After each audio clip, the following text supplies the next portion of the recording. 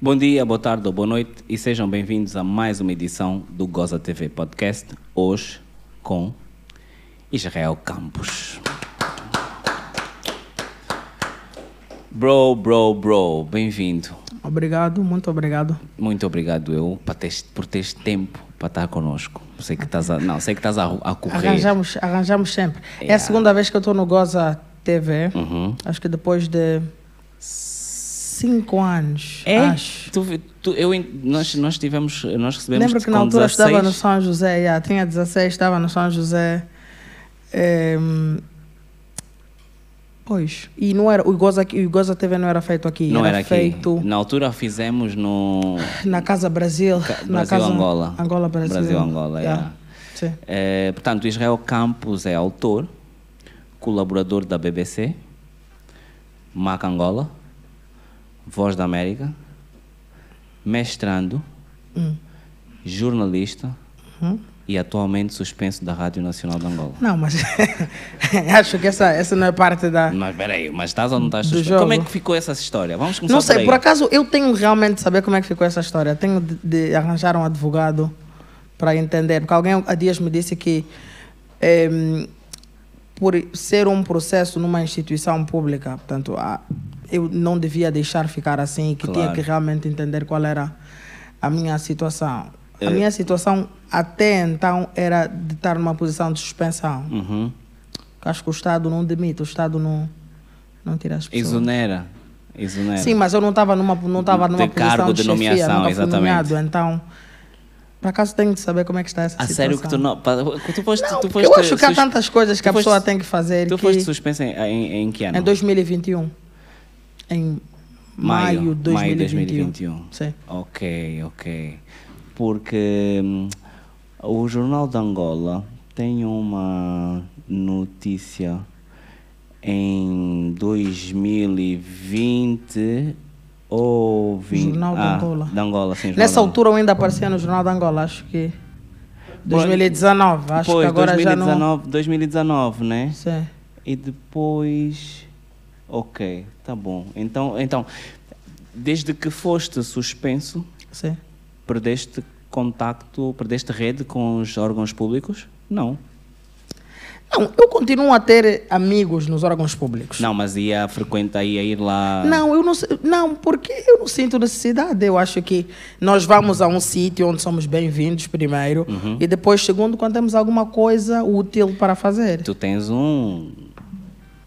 Bem, mas Livro eu vou aos novo. sítios que me convidam. Eu estou aqui hoje porque o Tiago me convidou e eu vou, por exemplo, tive algu- algumas rádios, eh, tive, por exemplo, eh, recentemente na rádio, vou à Rádio Essencial, já me convidaram para ir à Rádio Essencial, vou à Privada. Rádio Solidária. Privada. Portanto, vou a estes sítios em que me convidam. Os sítios que não me convidam, eu não posso ir. Eu não posso, eh, de repente, aparecer e ir ok. para lá. Eu sei que. Acho que esse também é um princípio ético, né? Definitivamente. Mas eu sei que, por norma, nós, quando, e porque temos contactos nas, nos órgãos, Uhum. se temos um, um projeto novo, também temos a tendência em, eh, portanto, olha, estou com uma cena nova, gostaria de ir aí eh, partilhar, por exemplo. Sim. Né? Sim. Não, não ocorreu isso da tua Tem- parte. eh, nós, eh, quando eu tenho algum projeto, e porque tento ser, tentamos, quando digo tentamos, que estamos sempre a trabalhar equipa. com equipas, Sim. tentamos sempre eh, ser o, o- o mais organizados eh, possível. E então, eu trabalho, por ser dessa área da comunicação, eu trabalho muito com assessoria e entendo Claro. muito bem como é que a assessoria funciona.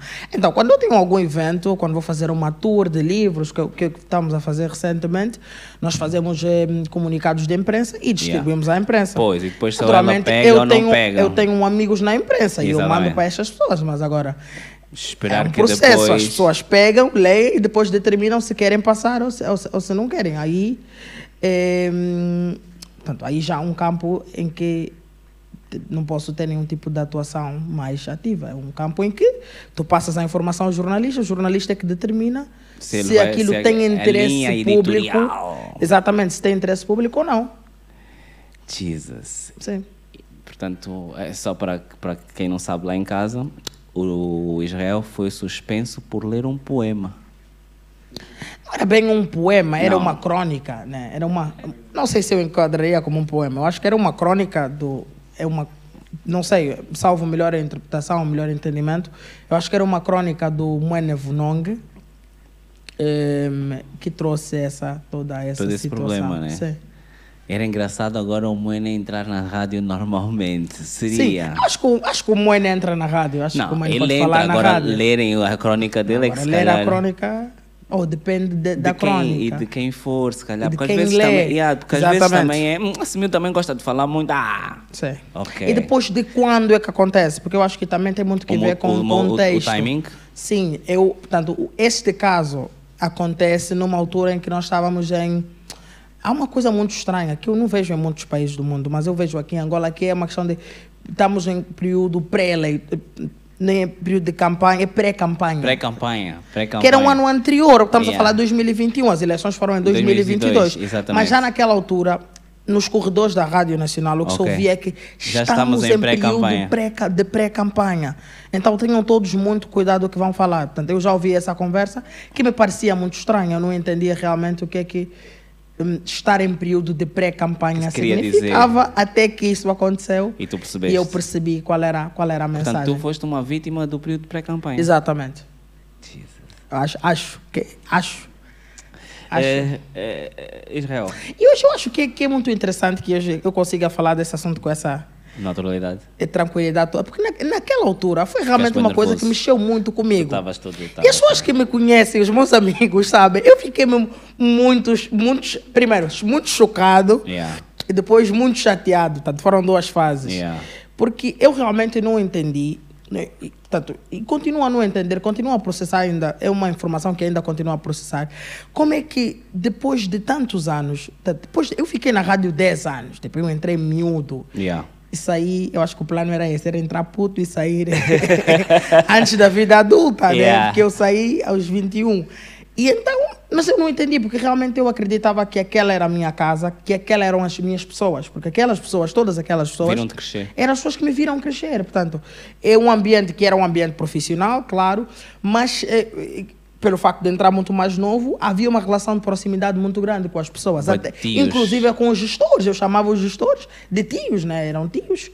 E então, eu nunca, nunca entendi como é que eu fui ficar naquela situação e como é que tão, como é que tão poucas pessoas se mobilizaram face àquela situação. Uau. Que eu acho que são, do- são dois campos. Dois- um, dois- um campo é O que aconteceu. o que acontece E a reação e das as, pessoas. E as hum, famosas ordens superiores, porque há uma coisa muito comum na comunicação social que é alguém dita uma regra, mas nunca quer assumir que foi ele a determinar. Não. Quer-se sempre atribuir culpas ou responsabilidade a superiores. Yeah, yeah. Porque, primeiro, assume-se que tu nunca vais poder chegar ao superior. Então, dizem sempre: epá, não somos nós, estamos a dizer, foi o ministro da comunicação. E depois tu tens um bom contacto que consegue falar com o ministro Não- e o ministro nem, sequer sabe do o assunto. Exatamente. Ou às vezes dizem foi o presidente da República. Yeah. Portanto, há ainda muito essa cultura da atribuição de responsabilidades porque ninguém quer ficar conotado ou taxado como o fulano que determinou que o, E, o e como é que cicrano nós, devia e como é que nós chamamos a esses gajos? Não sei. Cagões! Eu, eu realmente acho que são pessoas muito, muito cobardes. Que eu, Cagões. que eu acho que parte de, de, de, de- de estar num po- num- numa posição de poder em que temos que tomar decisões é realmente temos a capacidade de assumir Exatamente. os ônus da, da- Exatamente. e os passivos e os ativos quando, Yeah. quando as coisas correrem bem, bem, e tá quando as coisas top. correrem mal e, e o que eu senti nesse caso foi uma constante hum, hum, hum, eh, distribuição da responsabilidade. Falavas com uma pessoa, não, não fui eu, foi o fulano. Falavas com o fulano, não, foi o Beltrano. Ah, e até que ficou. Mas pessoas adultas e com Yeah, responsabilidades sérias no país. Estou a falar de crianças. Mas os adultos também são cagões? Pois, então estou a falar de pessoas muito adultas, de pessoas adultas e com, com certa responsabilidade, que iam fazendo esse jogo de distribuição. Depois chegou uma altura em que todos me prometiam alguma coisa. Ah, tá bem, eu vou falar com fulano e já vamos resolver isso. Dá só de 5 segundos. E depois o outro, eu também vou falar com o Beltrano e já vou resolver. E depois, a dada altura, aparecia aquela coisa do, do, do, do- tio e o CV, né? Um puto que vem de fora com o Não, CV, está à procura de emprego. Vou dar e tu emprego. diz, vem com o CV, eu vou, já te dou o emprego mais cinco minutos e depois nunca te liga. A dada altura ficou um bocado parecido a isso. Mas mais do que isso, realmente foi como é que eu senti que os locais de trabalho são efetivamente isso é uma, uma coisa que, eu, que se aprende, que eu acho que as pessoas quando crescem, vão amadurecendo, aprendem, que realmente o local de trabalho é um local em que podemos eventualmente ter boas relações, mas estamos lá fundamentalmente para, Para trabalhar. trabalhar. E que essa noção de sermos todos família, sermos todos grupos e comunidades, Esquece isso. funciona até dada altura. Ok. Então, eu acho que depois dessa experiência, hoje, todos os sítios por onde eu passei, eu tenho tido, não sei, infeliz ou felizmente, a possibilidade de passar por muitos, muitos sítios profissionais e trabalhar com várias equipas, eu mantenho sempre isso em consciência. Portanto, estamos aqui realmente para trabalhar, Mas- podemos eventualmente ter boas relações, mas não somos uma família como tal. Podemos ter um ou outro que, com quem se comum, cria, yeah. mas eu acho que, no modo geral, os locais de trabalho são efetivamente para se trabalhar. Aprendeste da pior maneira, né? Aprendi, eu acho que, não sei se da pior ou da melhor, eu acho que aprendi eh, porque eh, eh, talvez precisasse dessa, dessa hum, lição para ter uma visão, uma perspectiva Maior. diferente sobre Hum. aquilo, que eu acho que entrar, eu acho que uma das coisas que, hum, não sei se diria uma das desvantagens, mas acho que entrar muito novo ao mercado de trabalho também cria alguns vícios. Portanto, Ok. Um desses vícios é esse, é de nós que... acharmos que somos um grupo, somos uma família. Ok. Alguns vícios, mas às vezes não são vícios, são algumas visões mais utópicas, Uhum. né? Em que nós eh, eh, realmente acreditamos no- no- no- nessas, nessas noções maiores de coletividade. E não estou a dizer que as coletividades não são importantes, são Yeah. muito importantes, sobretudo quando se quer avançar uma agenda, quando se quer cumprir um objetivo. Mas a- mas eu acho que nós temos de aprender a lidar com as expectativas que nós criamos Próprio, sobre a os culpa é outros. nossa, a maior parte das Exato, vezes. Porque às vezes não são as pessoas, somos nós que pensamos que as pessoas agiriam de uma forma diferente ou que teriam uma posição diferente. Então acho que uma das lições talvez tenha sido nós aprendemos a gerir as nossas, Nossas- próprias Oh, expectativas. Nice, nice. Eh, portanto, tu foste suspenso da Rádio Nacional. E o que é que acontece? O que é que tu sentes quando hoje um profissional da comunicação diz que não há quadros? Lhe mandas para onde? Que não há quadros. Yeah. Não sei, eu acho que se fala pouco que não há quadros. Eu acho que os profissionais da comunicação, eh, dependendo de, de onde sejam, eu acho que não estão tão preocupados com essa conversa de falta Dos de quadros, quadros. porque é muito difícil se entrar para a comunicação social aqui em Angola. Portanto, Ok. É muito difícil, é um esquema Ah, é tipo completamente é tipo a polícia é mais complicado. fácil? Eu acho que até a polícia seja mais fácil. É muito complicado entrar para um órgão de comunicação Ah, é? social. Nunca há vagas, nunca há concursos públicos, nunca há castings. As pessoas só aparecem. As pessoas só aparecem. Da Não, mesma agora- forma que eu apareci. eu agora- também só apareci. agora que falas eu não fiz nenhum, nenhum, fiz nenhum casting para entrar para a rádio, nem nada. Eu fui parar a rádio porque fui lá dar uma entrevista. Aham. Alguém achou que eu falava muito bem e me convidou para ir voltando. E é assim que eu entrei para a Rádio Nacional. Portanto, Não, mas tens noção que é assim que eles também estão para o governo. Hum, esse Sim, nunca- Vem na próxima semana, vem, vem, vem. então é muito difícil. E Dá eu- por eles 40 anos lá. Pois, e eu por acaso, agora, eu recebo muitas comunicações de jovens, estudantes de comunicação, A quererem fazer estágios. Dizerem, pai, eu quero fazer um estágio, eu quero entrar para a rádio, não sei o quê. E eu paro para pensar e penso, mas como é que se entra efetivamente para esse sítio?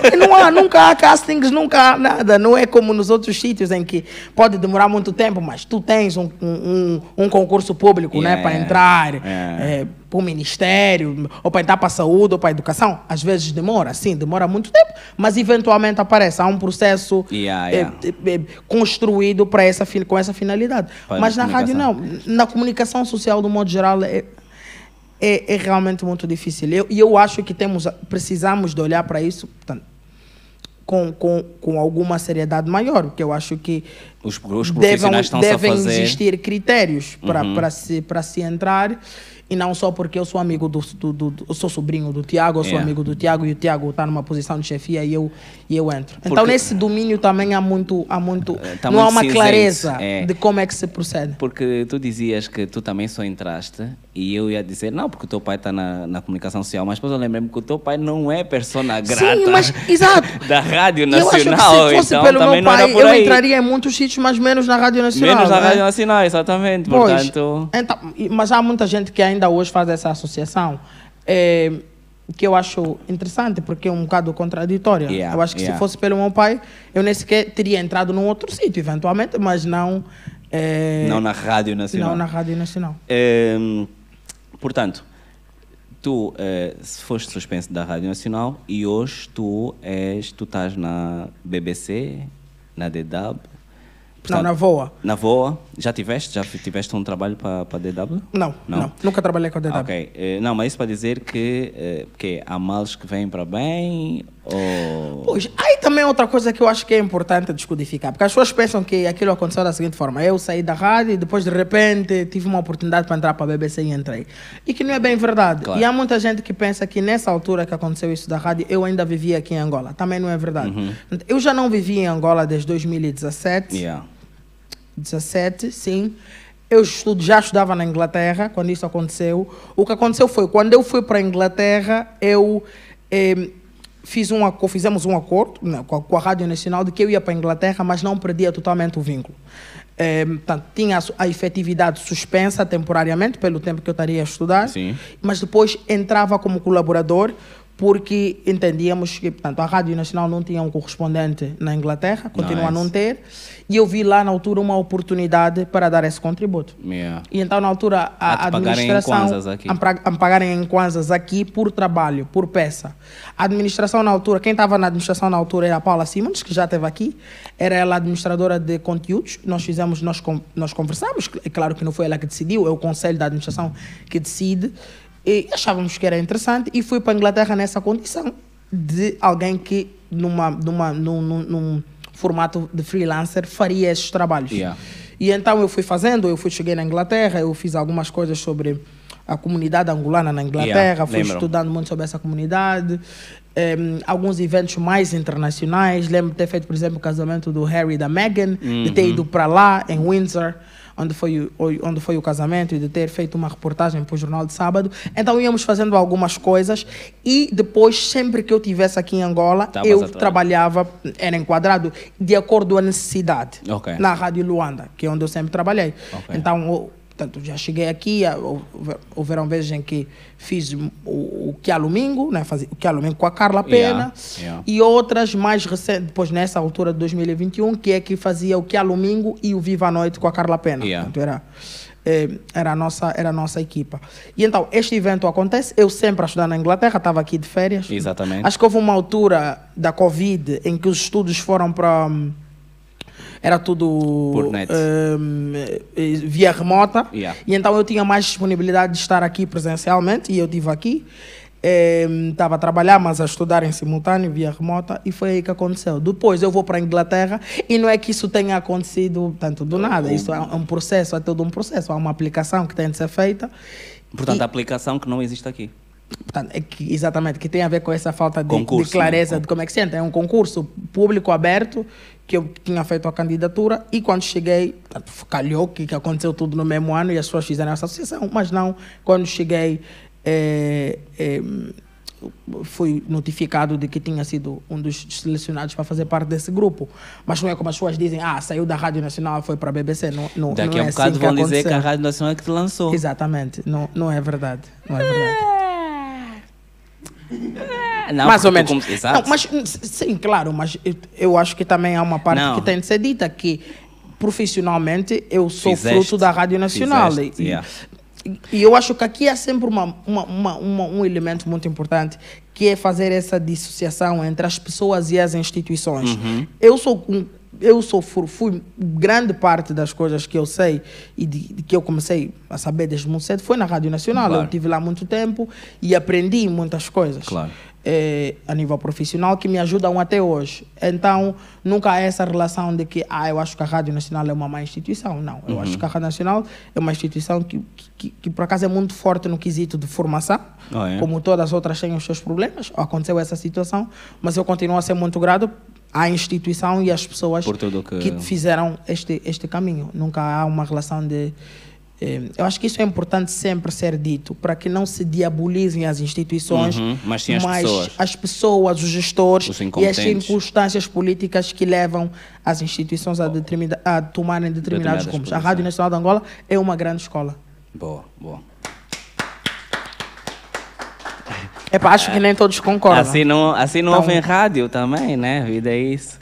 É, então, eu ia já para o livro, mas então ainda vou aqui no outro cenário. Estou uhum. curioso em perceber o seguinte. Em 2010, Isso, isso por quê? Porque eh, o que aconteceu contigo foi censura. Foi censura, Sim. né? Em 2010, o Semanário Angolense foi vendido. E penso que na altura o teu pai foi proibido de abrir outro jornal. Não tenho certeza. Como é que esse cenário influenciou-te em casa e naquilo que era já o teu cenário de fazer jornalismo? Porque o Semanário Angolense, Angolense na altura, era o, o semanário com maior tiragem. Era uma cena mesmo tipo bruta, bruta, bruta. E havia boa de forças para acabar com aquela brincadeira. E naquele cenário tu tinhas o teu pai como jornalista. Como é que isso eh, te chega ao cubico? Como é que tu como é que tu geres essa situação e que tipo de influência isso tem ou não ou teve na, nos teus passos seguintes? Eh, Bem, eu não sei se, se este evento eh, teve realmente alguma, alguma influência na minha, na minha carreira, né? naquilo que eu queria fazer. Claro que eu fui, eu e os meus irmãos fomos acostumados, nós crescemos numa casa em que sempre tivemos jornais. Yeah. Claro que o Semanário Angolês sempre estava na nossa casa, era uma coisa comum para nós. Mas, em 2010, eu tinha 10 anos, portanto, Não, eu mas já percebi- fazias rádio, né? Não, eu comecei a fazer dois anos depois, Ok, aos 12 ok, anos. ok. Portanto, não, não, não acho que tenha tido uma influência eh, tão direta Ok. ou, ou tão evidente. Claro que depois de, de algum tempo passamos a, a sentir falta dos jornais que estavam sempre lá em casa. Eh, essa era uma coisa. Eu, por exemplo, também me lembro de ir à redação, que era na Vila Alice, do Semanário Angolense. Sim. Eh, Portanto, eu que também cresci um bocado a, a ir, às vezes, não, era, não ia sempre, mas ia às vezes, e então eh, talvez isso me tenha. Portanto, essas alterações, essa mudança repentina de coisas tenha criado alguns questionamentos, mas não que tivesse influenciado de uma forma consciente eh, para que eu quisesse ser jornalista e, e tivesse interesse por essas matérias. Ok. Acho que não. Eu- Eu acho que foi muito mais tarde que eu comecei a absorver as coisas e Ah, a é? compreender. Sim. Aos 10 sim. anos não te passava pela cabeça fazer locução? Não, aos 10 anos eu não, não. Aos 10 anos eu queria ser veterinário. Eu sempre quis ser veterinário. Ah, é? Era, essa era a minha profissão, sempre quis ser Olha, veterinário. por acaso, por acaso é engraçado porque nós Tá aí a Carla que sabe, porque ela é minha colega há muito tempo. Eu sempre quis ser veterinário. E sempre tivemos muitos animais em casa e sempre fomos muito à quinta. Meu pai sempre gostou muito de quintas. Yeah. Então, tanto aqui em Luanda como em Malange, nós íamos sempre à quinta. Ok. E então eu era essa pessoa de quinta que ia, por exemplo, para Malange e trazia um sapo, por exemplo, a Luanda, sem a minha mãe saber, e depois chegava aqui, era um problema muito Ah, grande, é? que tínhamos um sapo no, no, no, no, no jardim, ou de temos sempre, tivemos sempre muitos cães em casa, peixes. Portanto, Ok. essa sempre foi a minha vibe, foi sempre ser ou em, veterinário ou artista plástico, que eu também sempre gostei de desenhar Ok. e de pintar. Eu desenhava muito. Esse desenho é teu? Esqueci. Esse desenho é teu? não, esse não é meu. Ok. Eu desenhava, de- gostava de desenhar, tanto é que a dada altura eu fiz mesmo, ehm, fazia parte de um ateliê. Havia uns, havia um, um, um artista plástico que eu amava muito, que era o Álvaro Macieira. Que era muito, já era muito conhecido naquela altura, e sempre que entrasse em alguma instituição pública havia um quadros quadro, yeah. do Álvaro Macieira. Então eu Yeah. queria ser o Álvaro naquela Oh, altura. E houve uma altura em que nice. havia uma publicidade na televisão com o Álvaro Macieira, eu não me lembro de que Ensa, talvez. instituição era, talvez a ENSA ou algum banco assim, Yeah. que era com o Álvaro Macieira. Então eu gostava muito dele. Depois conheci o Etona, o Hum. mestre Etona, e também fiz algumas aulas com ele eh, na ilha. Ele tinha lá um ateliê Yeah, que fazia, yeah. fiz algumas aulas com ele. Então essas eram as minhas Ok. áreas. Eu era arte ou era Olha, essa questão da é, é, é uma pena porque se tivesse sido veterinário, hoje tu sabes que há macacos aí que precisam de uma Exatamente. boa vacina. e os né? veterinários fazem mesmo dinheiro. Alguns é, veterinários né? fazem dinheiro. Eu, às vezes que vou a veterinários, está sempre cheio, tem sempre clientes. Então, É. talvez tenha perdido uma boa oportunidade Yeah, ok. de acumular riqueza. E como é que surge o cenário? Porque já está, ou seja, não queria ser jornalista, acabei por ser. Não queria ser jornalista, acabei por ser. Sim, entrei para a rádio e a rádio teve essa influência. Fez-te. Primeiro não era para ser jornalista, eu era locutor, né, Uhum. infantil, etc, etc. Até comecei a gostar e disse, pá, quero fazer isso a sério. Só que na altura, em, ninguém, ninguém aconselha uma pessoa consciente A a ser ser, jornalista. jornalista. Em Angola. E tu sabes isso. Em Angola. Tu sabes isso. Yeah. Que yeah. em Angola ninguém diz fica jornalista. Yeah. Mesmo as pessoas que eu conhecia na rádio me diziam, puto, faz isso, Mas mas, não- vai fazer a tua vida, Yeah. faz outra coisa. Sempre me disseram isso, sempre. E eram pessoas que estavam na comunicação há muito tempo. Tipo, Exato. Salu Gonçalves sempre me disse isso, sempre. Sempre eu dizia, mas como é possível o Salu, né, que é uma pessoa que eu ouço há tanto tempo, me diga isso? Mas eles afinal já sabiam. Não. E então as pessoas sempre me disseram, sempre me disseram, pá, puto, faz isso como um hobby, mas faz outra carreira, porque aqui em Angola isso não dá. Mas eu fui teimoso. Eh, a dada altura em casa também tinha muito essa pressão, meu pai não queria que eu fosse jornalista. E então, eh, quando cheguei ao ensino médio, eu decidi fazer eh, físicas e biológicas com a ideia de que ia ser ou veterinário Ok. ou engenheiro ambiental. Calma, altura em que surge essa ideia do engenheiro ambiental. Jesus. E então eu fiz física de biológica para ser engenheiro ambiental. Mas eu acho que a coisa da, da, da rádio, da comunicação Puxou. foi falando mais alto. em, porque depois, a dada altura, e essa é uma, uma das, das coisas que eu, por exemplo, agradeço muito à rádio, é que a rádio não olhava para a minha idade quando me atribuísse responsabilidades. Nice. Portanto, eu gostava disso. Não havia uma infantilização muito Ok. grande. Sobretudo para mim, eles sempre tiveram um olhar, tipo, quando digo eles, as pessoas com, com responsabilidade, yeah. sempre tiveram um olhar diferente para mim. Porque então eu lembro de ter começado a fazer reportagens muito cedo, Ok. muito cedo. Portanto, fazia o programa infantil aos fins de semana, mas lembro que durante a semana já fazia reportagens.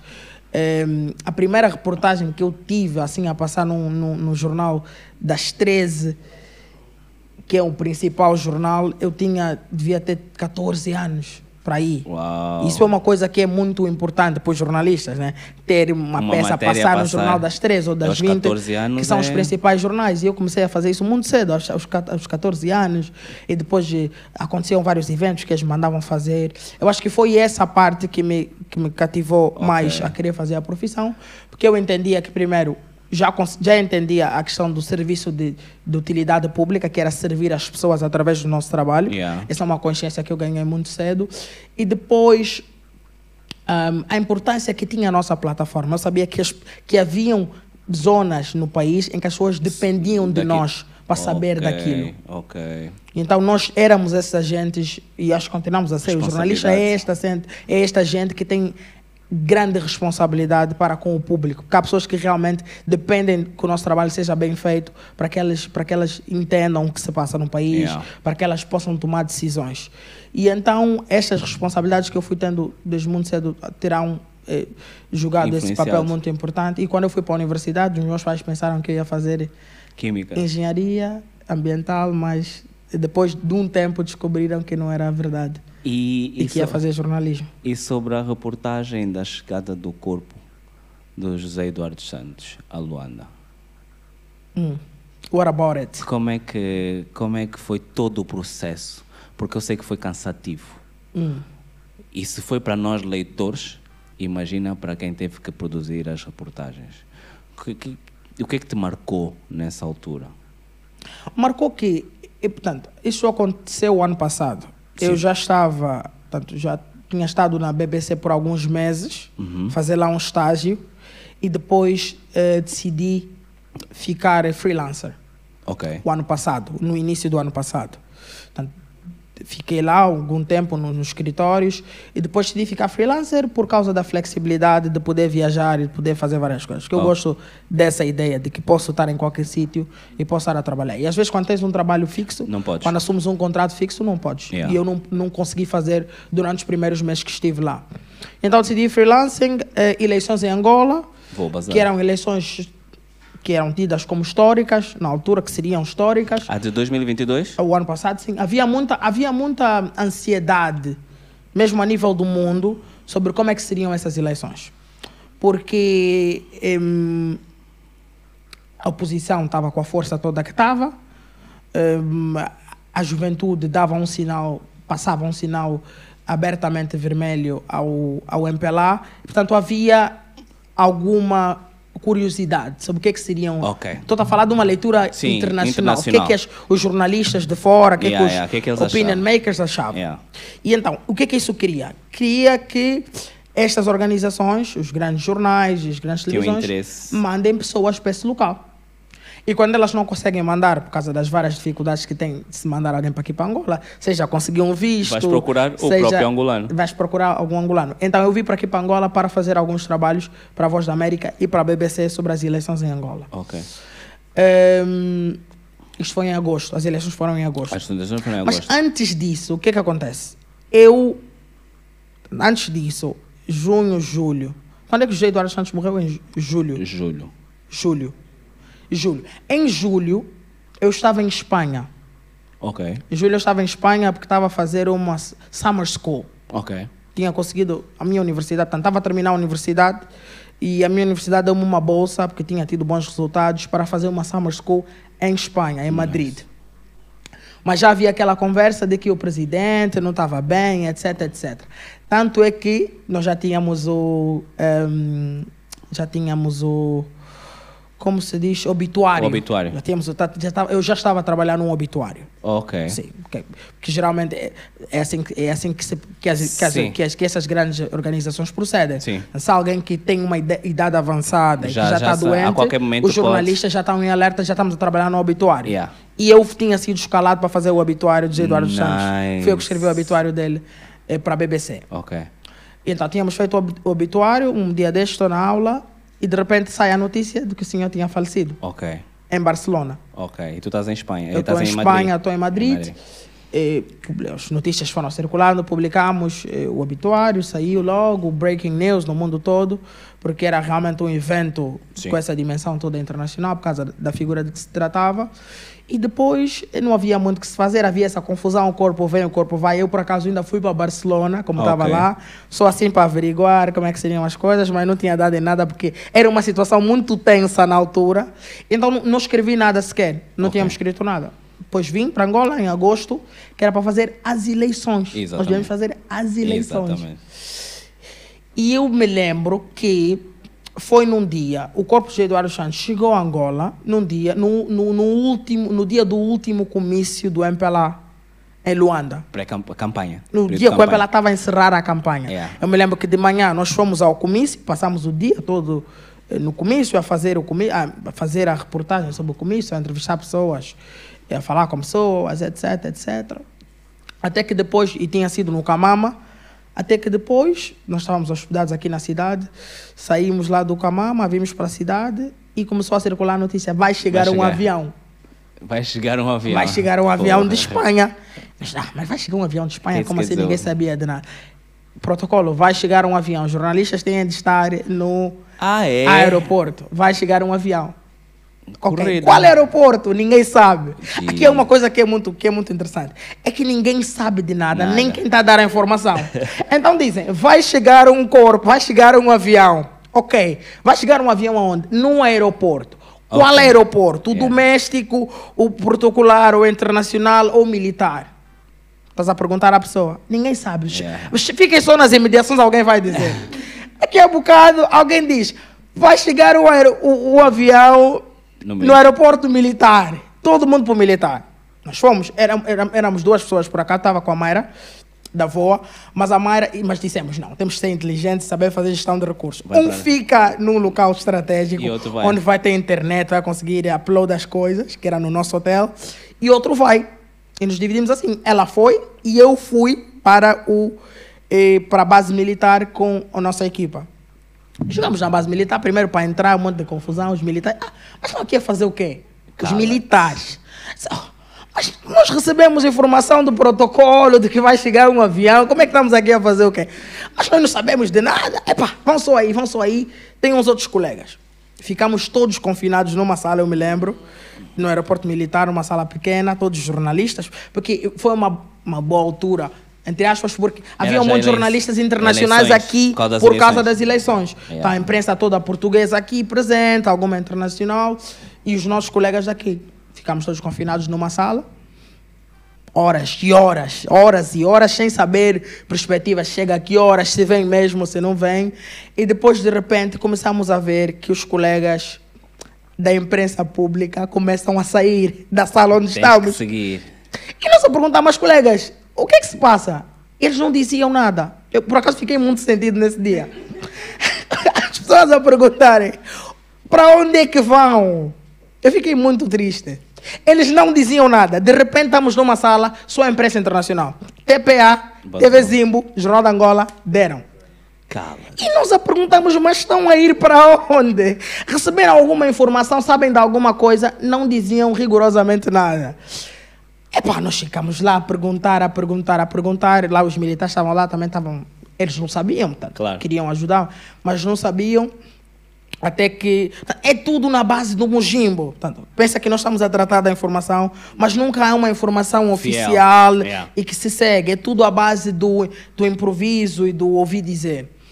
Até que nós decidimos, "Epá, estamos só aqui, só havia a imprensa internacional, hum, e alguém nos diz lá, "Epá, é melhor tentarem ir ver no aeroporto, no- lá na, na parte protocolar, porque nós não achamos que, o presidente, que, que esse avião vai, Vai chegar aqui na, na base militar. Nós saímos do, do, do, do, do militar, por fora, fomos dar a volta, chegamos ao protocolar e quem lá estavam? Os colegas que nos tinham abandonado, sem terem dado uma dica. Eu disse, mas, mas não há sequer solidariedade. Não podiam só ah, informar os outros, estamos todos aqui pela mesma causa, quer informar o público. E aí eu achei, esse, esse episódio me marcou muito. Até que chegamos lá no, no protocolo e não há informação, aquilo é esperar. Aquilo é só esperar até acontecer, não há informação. Ficamos muito tempo à espera. Os colegas dizem que aqui é comum, sempre que algum presidente a chegar ou alguma entidade, diz, diz sempre que é comum, que a imprensa fica muito tempo à espera. Até que eventualmente começam a chegar os dirigentes. E nós começamos a levar a sério quando os dirigentes começam a chegar. Ah, e os bom. dirigentes começaram a Que chegar, que iam receber receber. De repente apareceu o Marci Lopes, que na altura era o, o, o era ministro do MAT. MAT. E era, então eles, eram eles os responsáveis pela organização. E começaram a chegar outros ministros, etc. E, e daí, de, de repente, eh, o avião o avião estava a chegar, aquela záfama toda, não sabia quem vinha no avião, portanto era adivinhar, mas aquela tia é quem, aquela moça é quem, não sei quê, porque não havia um- uma informação, portanto, de repente o avião começava a sair, saíam filhos, saíam outras pessoas que ninguém conhecia, era, era todo um exercício de adivinharmos quem é quem. Eh, sai o, o- o caixão, sai. Há um processo muito estranho que se faz para porem nos carros, também demora um bocado. O- depois, por acaso, o Márcio Lopes deu- fez declarações à imprensa que explicou um bocado qual era a ideia, o que é que se ia fazer. Eh, depois, lembro que saímos daí e fomos para o Miramar.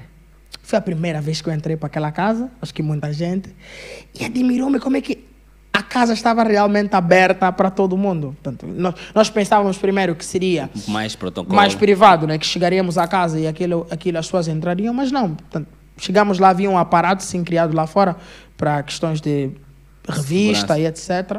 Mas depois a casa estava realmente aberta. Eu fiquei tipo, cheio. Eu estou a entrar nessa casa. É, isso foi um bocado assim. que acho que ninguém conta, né? Tu, tu cresces a vida toda a passar pelo Mira, mas saber o presidente vive ali, o presidente vive ali, até que de repente Tu tu lá. entras para casa. E isso aconteceu esse dia. Então acho que foi um dia muito. Mas também só entraste lá porque o presidente já não vivia lá. Exatamente. Não sei se, se teria entrado com o presidente vivo. Isso é que era interessante. Mas eh, a nível profissional, né, que acho que o que interessa foi, foi uma experiência interessante, Uhum. porque era, claro, que é um assunto que havia muito interesse público, não só nacional, mas como internacional. As pessoas queriam saber como é que esse evento iria influenciar as eleições, teria algum tipo de influência ou não, Uhum. e como é que as pessoas estavam a reagir no terreno. Eu acho que foi um bocado esse trabalho que nós fizemos, foi Ok, estar no terreno por perceber. horas e horas, falar com as pessoas, perceber. Em, e os resultados foram, foram estes. Ok, ok. É, de facto, isto aqui, a- vida é uma live. Yeah. De facto, é, então vamos falar de coisas boas. Sim. Vamos falar de coisas boas. Mas depois acompanhamos todo o processo, não foi só aí. Tá, isso foi o primeiro dia, mas depois eu fiquei, acompanhei todo o processo até, em, até o final. Portanto, eh, portanto, esse foi um evento, depois aconteceram as eleições, mas depois disso houveram outros, outros eventos, as homenagens que fizeram aí no, no, no Memorial do Dr. Antônio Exato. Eh, tu acompanhaste isso? Sim, acompanhei. Eh, mas estavas cá na altura em que disseram que o corpo estava a cheirar mal. Ou melhor, ou Estava cá na altura, sim, estava lá na altura porque havia uma conversa de que o caixão te- te- te- eventualmente tivesse ficado muito tempo fora, Sim, exposto. Eu ouvi, ouvimos isso. Tu tiveste acesso Nós- a... Não, nós não constatamos isso. Não, Não, porque nós só tivemos. Em casa eu só estive neste dia, depois nunca mais Ok. regressei a casa. Não. Boa, boa, boa. É, Portanto, então agora podemos falar de coisas boas? Sim, claro, claro. E o céu mudou de cor. Quando é que te cai uma cena para fazeres, eh, para escreveres um livro? Deixa-me dizer desde já que magnífico. Já te disse pessoalmente, estou com alguma dificuldade em acabar o livro porque eu não leio duas vezes a mesma coisa. A menos que sejam os discursos do presidente, que eu não leio. O Adão da Almeida, o Adão da Almeida reinterpreta para nós. Mas a, a verdade é que a última vez que eu senti uma leitura tão, tão suave, tão deliciosa, foi com o filme, com o filme, parecia um filme na minha cabeça, o livro do Trevor Noah, I Was Born a Crime, Eu Sou um Crime.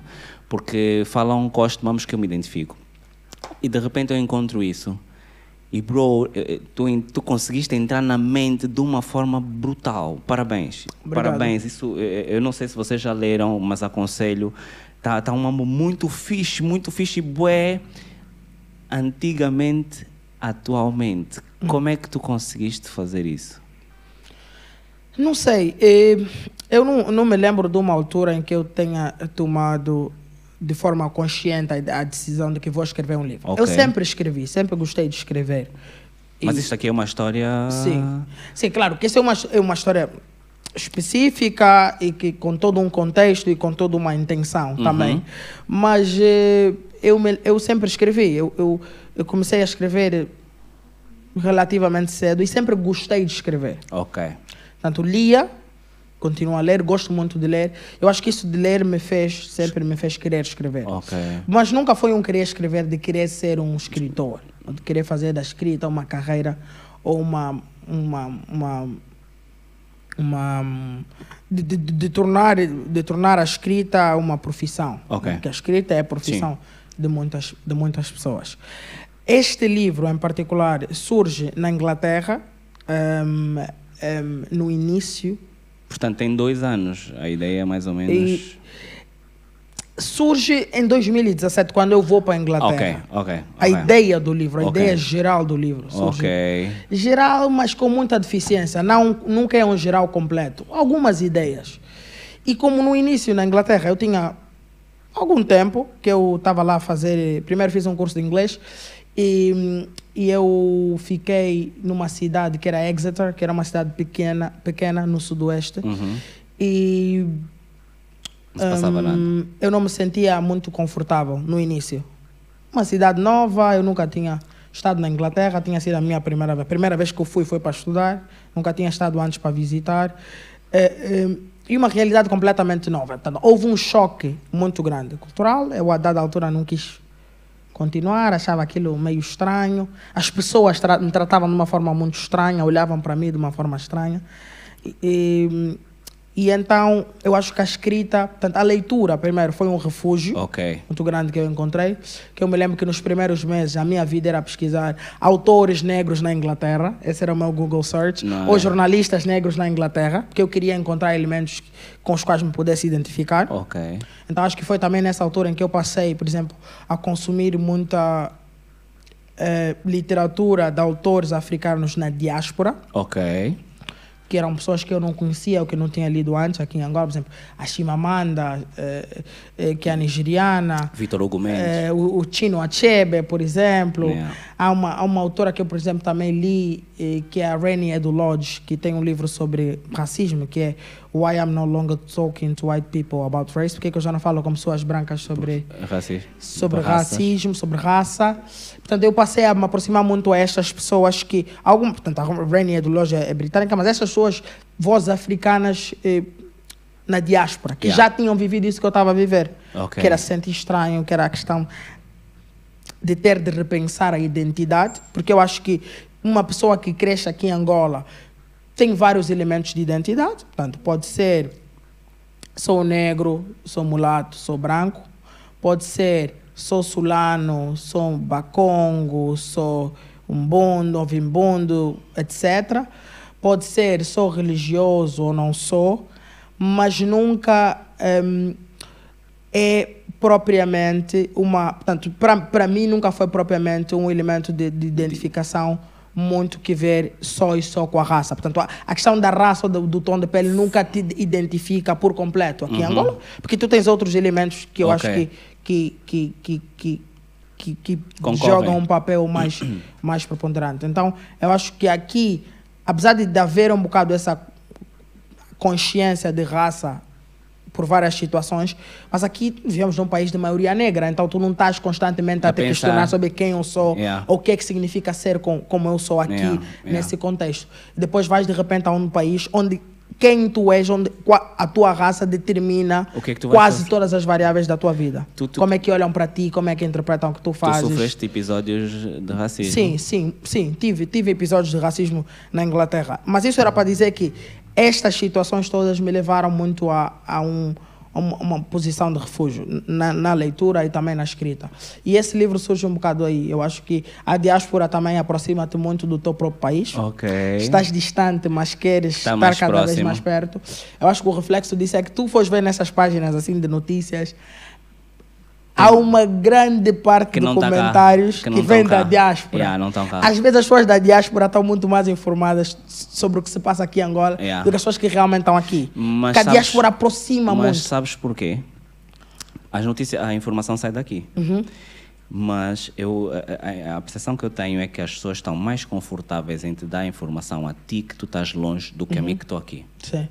Eu não consigo perceber o porquê, Sim. mas dá a impressão que quando a notícia está aqui, vai. Quando volta, tem outro. É, é, é, como se fosse um, é como se fosse fama, tá vendo? Quando os nossos famosos Sim. aqui batem, mas quando vão quando voltam. É, tá batem mais. Mas eu acho que para além disso, eu acho que o cotidiano aqui em Angola é muito marcado por uma záfama diária, é muito marcado por muita correria. Uhum. E então, eu acho que a, di a diáspora, sobretudo alguns países da, da, diáspora, e falo um bocado mais da diáspora ocidental, dão às vezes alguma possibilidade mais de Reflexão. poderes refletir, de okay. poderes ler o que se passa, de poderes acompanhar os canais no YouTube, poderes sentar para ver o Tiago, por exemplo. Tens mais tempo okay. pra, de qualidade. qualidade de vida, né? Exatamente, tem qualidade um bocado a ver com a qualidade a de vida. A internet não é tão cara. Tens mais tempo para parar e ler coisas e ver coisas. A internet não é tão cara. Aqui, por mais que tenhas esse acesso, yeah. é muita correria, yeah. é sair de manhã muito cedo, voltar muito tarde. Então sabes o mínimo dos mínimos. É, agora... Quando tens acessos, depois tens aquelas pessoas que nem sequer têm os acessos e, e não se sabem o que é que se passa. Porque... Eu vim agora do Cunene hum. e epá, há pessoas que não estão. É como se fosse realmente uma Angola a parte dessa que nós estamos a viver. Há pessoas eles... que não têm noção eh, de coisas que para nós aqui podíamos dizer que são básicas ou elementares, mas há pessoas aqui em Angola, em várias partes, que não têm noção mas lá, coisas. Mas lá no Cunene já estão a beber água ou... No Cunene, no Cunene ainda tem um problema muito, muito, muito grave. Mas não pode, já fizeram, já resolveram, já mandaram ali um... O canal do CAFO, o famoso canal do Exato, CAFO. Exato, como é que ainda temos problemas? Não, não é, não é verdade que o canal do CAFO tenha resolvido o problema da seca em Angola. Eu acho que também só pessoas que, que, que não que não tivessem realmente uma noção da, da situação que se vive no Cunene, que se vive no sul do país, é que comprariam essa história de que o canal do CAFO eh, fosse resolver Por o problema. Por exemplo, as pessoas do Cunene, que aparentemente não estão no país. Nem, nem todas as pessoas do Cunene, porque o que, o que por exemplo, encontrei no Cunene foi, foi, foram muitas pessoas, muitas localidades em situação... Eh, de emergência, de emergência alimentar. Okay. É, é, de, de, de, há, uma, uma questão de grande insegurança alimentar no, no sul, falo do Cunene, porque é onde, onde regressei há dias, mas também posso falar da Willa, que também estive lá é, recentemente a fazer alguns trabalhos. Há um, há um problema muito grave no sul do, do nosso país com a seca. Existem pessoas agora, nesse minuto em que estamos a falar, que estão a passar fome. Portanto, há um problema de fome muito grave no, no sul da Angola. Mas tu és maluco? O que, presidente disse que a fome é que relativa. Me parece, que me parece muito estranho porque muita gente não tem noção disso. Muita gente não tem noção do, do que é que se passa. É, é, claro que a seca às vezes tem os seus picos mais altos, né, que são estes momentos em que se falam sempre sobre isso, mas, mas há pessoas que Continua. diariamente continuam nessa, nessa, nessa, nessa situação de bastante vulnerabilidade. E nós vamos fazendo o nosso o que, o que se pode. trabalho. Né? Mas sobre a é levar- fome, não acho que estejas eh, correto, porque o presidente disse que a fome é relativa. Pá, o presidente também esteve na Willa há dias e, e, não, e não visitou ehm, os sítios que eu acho que ele devia visitar. Por exemplo, eu achei muito estranho que eu, a semana passada estivesse na Willa e nó- eu estava a trabalhar, estávamos a, eu, a nossa equipa estávamos a trabalhar nos municípios. Trabalhamos em alguns municípios da Willa. Achei muito estranho que o presidente, por exemplo, tivesse ido à Willa para saber da situação da Willa. Foi por causa da feira das- dos, dos municípios e das cidades. Mas depois o presidente diz sempre que vai para as províncias para saber da situação Yeah. social. É, ehm, mas achei estranho que o presidente tivesse ido para a Willa, reuniu com, com o governador, que fez uma intervenção que por acaso ficou muito conhecida, porque diz que foi muito interventiva. Depois o presidente foi ao, à feira, depois o presidente foi-se embora. Portanto, assusta-me sempre a incapacidade dos nossos gestores públicos de irem para o terreno fazer constatação. Eu achei um contraste muito grande. Aquilo que eu via na cidade, na capital, na- na- no Lubango, Sim. com aquela záfama E toda da feira dos o resto- municípios, e o que eu via, por exemplo, que eu vi, por exemplo, nos Gambos, ou na Chibia, ou na Umpata, portanto, não se percebe como é que nós estamos a fazer feiras dos municípios e das cidades. Vamos onde ter está lá todo, Vamos todo, dar um prémio todo mundo município. muito bonitinho, eh, com os discursos muito bonitinhos, enquanto que nos tais municípios a gente está morrer de fome, a gente que não tem água. Existem localidades, na Umpata, por exemplo, há zonas em que não há rede, em que tu, para teres um compromisso com alguém que vive lá, tem de marcar uma semana antes. Olha, fulano, no dia X a X horas temos que estar no local X. Não te esqueças, porque naquela zona não tem rede. Não tem rede. Portanto, eu, fico sempre muito estupefacto como é que nós temos essa incapacidade de realmente ignorar eh, a vivência de muitos, de milhares de angolanos, de muitos angolanos que continuam em situação de bastante precariedade. E como é que o nosso poder político consegue ser tão insensível a isso? É como no Cunene, o presidente também esteve no Cunene. Depois da Willa foi para o Cunene. Ok. E o presidente não teve nos municípios, não andou. Teve lá, viu as construções de uma barragem, mas não teve efetivamente nos municípios. Até uma zona que achei engraçado, que eu vim do Cunena Dias, que é no Xangongo, que havia uma rua que estava mal. E o que aconteceu? Como havia um dito do que o presidente ia passar por aquela Arranjaram rua, rua. arranjaram a rua. Resultado, o presidente nunca passou por aquela rua Mas pelo e menos- a rua está arranjada. Porra. então está todo mundo lá a rir. Então, que tal, que tal nós inventarmos que o presidente Vai vai, a passar sítio. por todas A as todo ruas sítio, né? a ver se a coisa anda. E ah, essa história é muito engraçada lá no Xangong. Diziam, há uma rua há muito tempo, lá havia lá um buraco, ok? Que eles repararam, porque o presidente ia para ia, ia para o Cunene e supostamente ia passar no Xangong. Parece que não passou, mas a, a benfeitoria lá ficou. E, e- e já agora, por causa dessa tua, desse teu, essa tua tour pelo país, eu sei que tu também tiveste no Sol Nascente. Tive no Sol Nascente. Fala-me um No bocado. Wambo. É porque eu estou muito... eu- eu- nós tivemos aqui o presidente Sim. E eu gostei muito, muito de tipo... Eu quase que voltava a estudar. Sim. Só que eu sou burro. O Sol Nascente é top. Eu, é isso que eu quero... É quero- top. Nós, eh, portanto, é uma, é uma tour que nós eh, fizemos, terminamos agora, recentemente. A última província foi Luanda. Começamos em Luanda, terminamos em Luanda.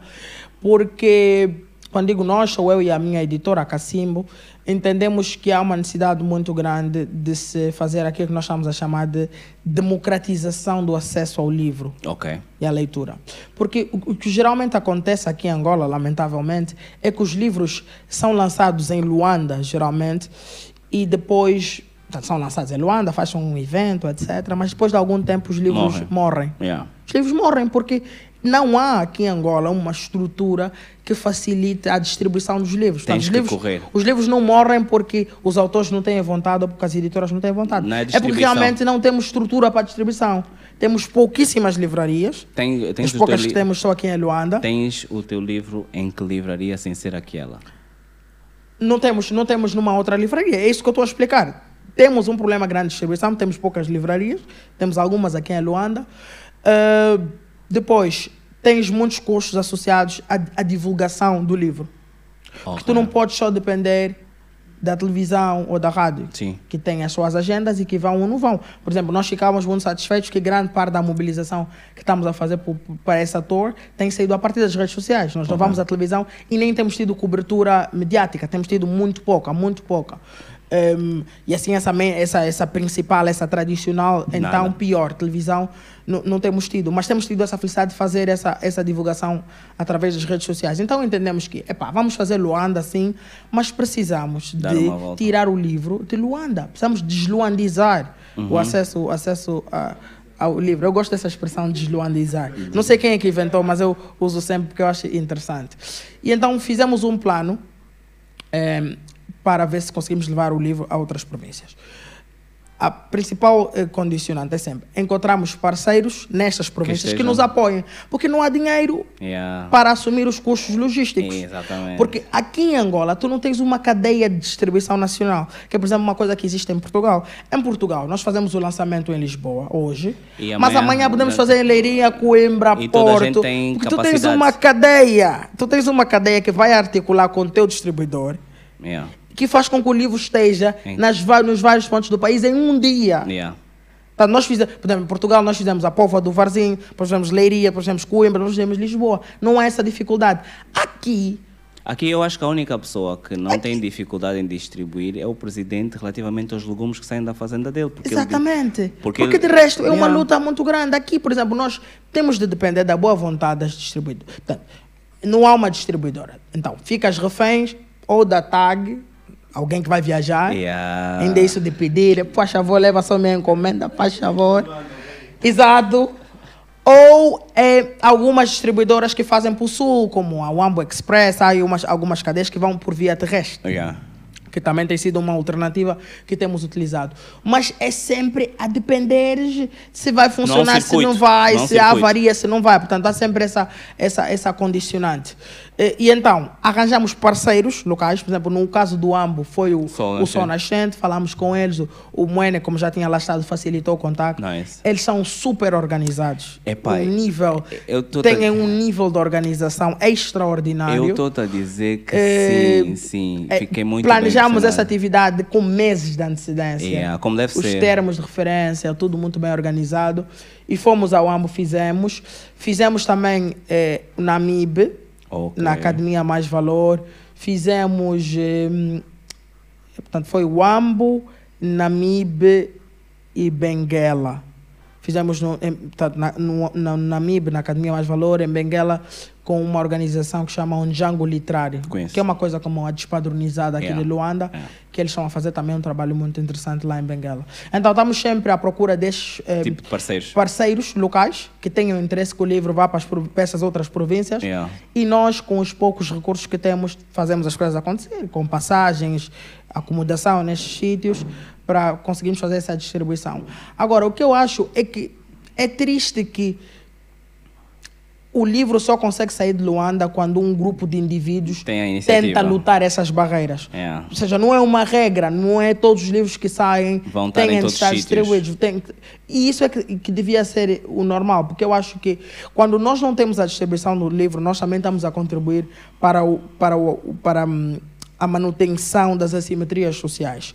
Porque se tu dizes que só uma parte do país é que tem acesso ao livro, estás Só a dizer que Só que só ali é que vale a pena nunca estar. essas pessoas nunca vão poder competir ao mesmo pé de igualdade porque Yeah. essas pessoas nós aqui de Luanda temos um acesso privilegiado à informação temos um acesso privilegiado ao livro que não, nas outras partes Não. do país não acontecem é claro que aqui em Luanda também quando falo nós estou a falar de um grupo de pessoas não são todos os é. luandenses por Ah, causa nós de todas as questões burros. sociais Porque nós mesmo somos burros. mas eh, eu acho que essa é uma questão de Estado. Estado. Eu, por acaso, ando atrás do Ministro eh, da Cultura, porque quero lhe dizer exatamente isso. Eu quero dizer que isso é uma questão de Estado, que a distribuição do livro é uma questão de Estado, que o Presidente da República, esse Presidente, João Lourenço, já tinha, inclusive, feito um. Eh, eh, eh, constituído uma comissão multissetorial para, para a distribuição do livro. Esse documento existe, essa comissão multissetorial foi criada em 2018. Mas primeiro mandato. Não, prime... olha só, o primeiro mandato. O presidente João Lourenço criou uma comissão multissetorial para o fomento da leitura e do livro, uma coisa assim. E essa comissão foi constituída por vários departamentos ministeriais. Eu hoje pergunto às pessoas que estavam nessa comissão quais são os resultados e ninguém consegue me responder. Mas tu achas, tu achas que as pessoas estão disponíveis para obedecer às ordens do presidente João Mas Lourenço? se não estão, eu acho que deviam estar. E quando não, e quando não estão, eu acho que essas pessoas devem sofrer alguma, alguma consequência. Por isso, porque, por exemplo, nessa altura, eh, eu me recordo eh, que havia um conjunto de pessoas que hoje ainda estão na política e, que, e continuam a ostentar cargos, que estavam nessa, nessa comissão. Eh, então, o que, que essas pessoas têm a dizer sobre essa comissão? O que, que essas pessoas não vêm a público e falam? A, a, a senhora que está no, no, no, no Ministério do, do, do Ambiente, eh, que é hoje a ministra do Ambiente, estava nessa comissão. A própria Carolina Cerqueira, que é hoje presidente da, da Assembleia Nacional, estava nessa comissão. Por que, que essas pessoas não assumem as suas responsabilidades e não, e não justificam, não falam para, para, para, para o utente, para, Eu, o cidadão? eu, eu respondo-te a isso. Porque aqui não se assume porra nenhuma. Ah, é isso que eu lembras, acho que é lembras da, lamentável. lembras da reforma educacional que fizeram? Uhum. E que depois alguém apareceu na televisão e disse que não prestava. Quem é o responsável? Yeah. Nunca se. Esse é o problema, é que aqui todo mundo pode cometer, mas, Mas, nunca é. se assume, nunca se chega a um ponto em que as pessoas são efetivamente responsabilizadas, ou às vezes nem é serem responsabilizadas, é darem uma satisfação, é dizer, pá, o presidente queria essa comissão, mas nós não queremos saber disso, então não vamos fazer nada. Isso é uma satisfação. Por exemplo. Que seria interessante. Por exemplo. Mas eu, eu, eu há muito tempo que ando a- atrás dessas instituições que faziam parte dessa comissão que, e que não me respondem, não me dizem nada. Ignoram. Tu também foste ignorado por uma cota do Estado lá fora a fazer uma entrevista. Tentaste entrevistar alguém. Sim, fui. Como é, como, é, como, é que, como é que tu.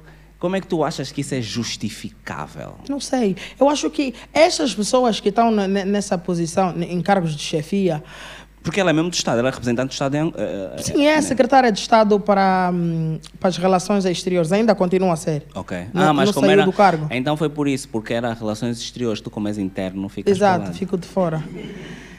Yeah, eu acho que o exercício desses cargos políticos aqui, infelizmente, muitas vezes vem associado a uma arrogância que eu É já tentei, Não achas que é já tentei compreender muitas vezes, mas tenho muita dificuldade. Porque, por exemplo, nessa, nesse sítio onde aconteceu, e, epá, isso é uma humilhação mesmo que foi internacional, porque isso aconteceu na Finlândia. Estávamos na Finlândia, em Helsinki, e havia uma havia lá uma, uma, uma ahm, havia lá uma conferência África acho que era África, Finlândia, ou algo Ok. dessa natureza. E haviam, haviam vários países africanos representados lá.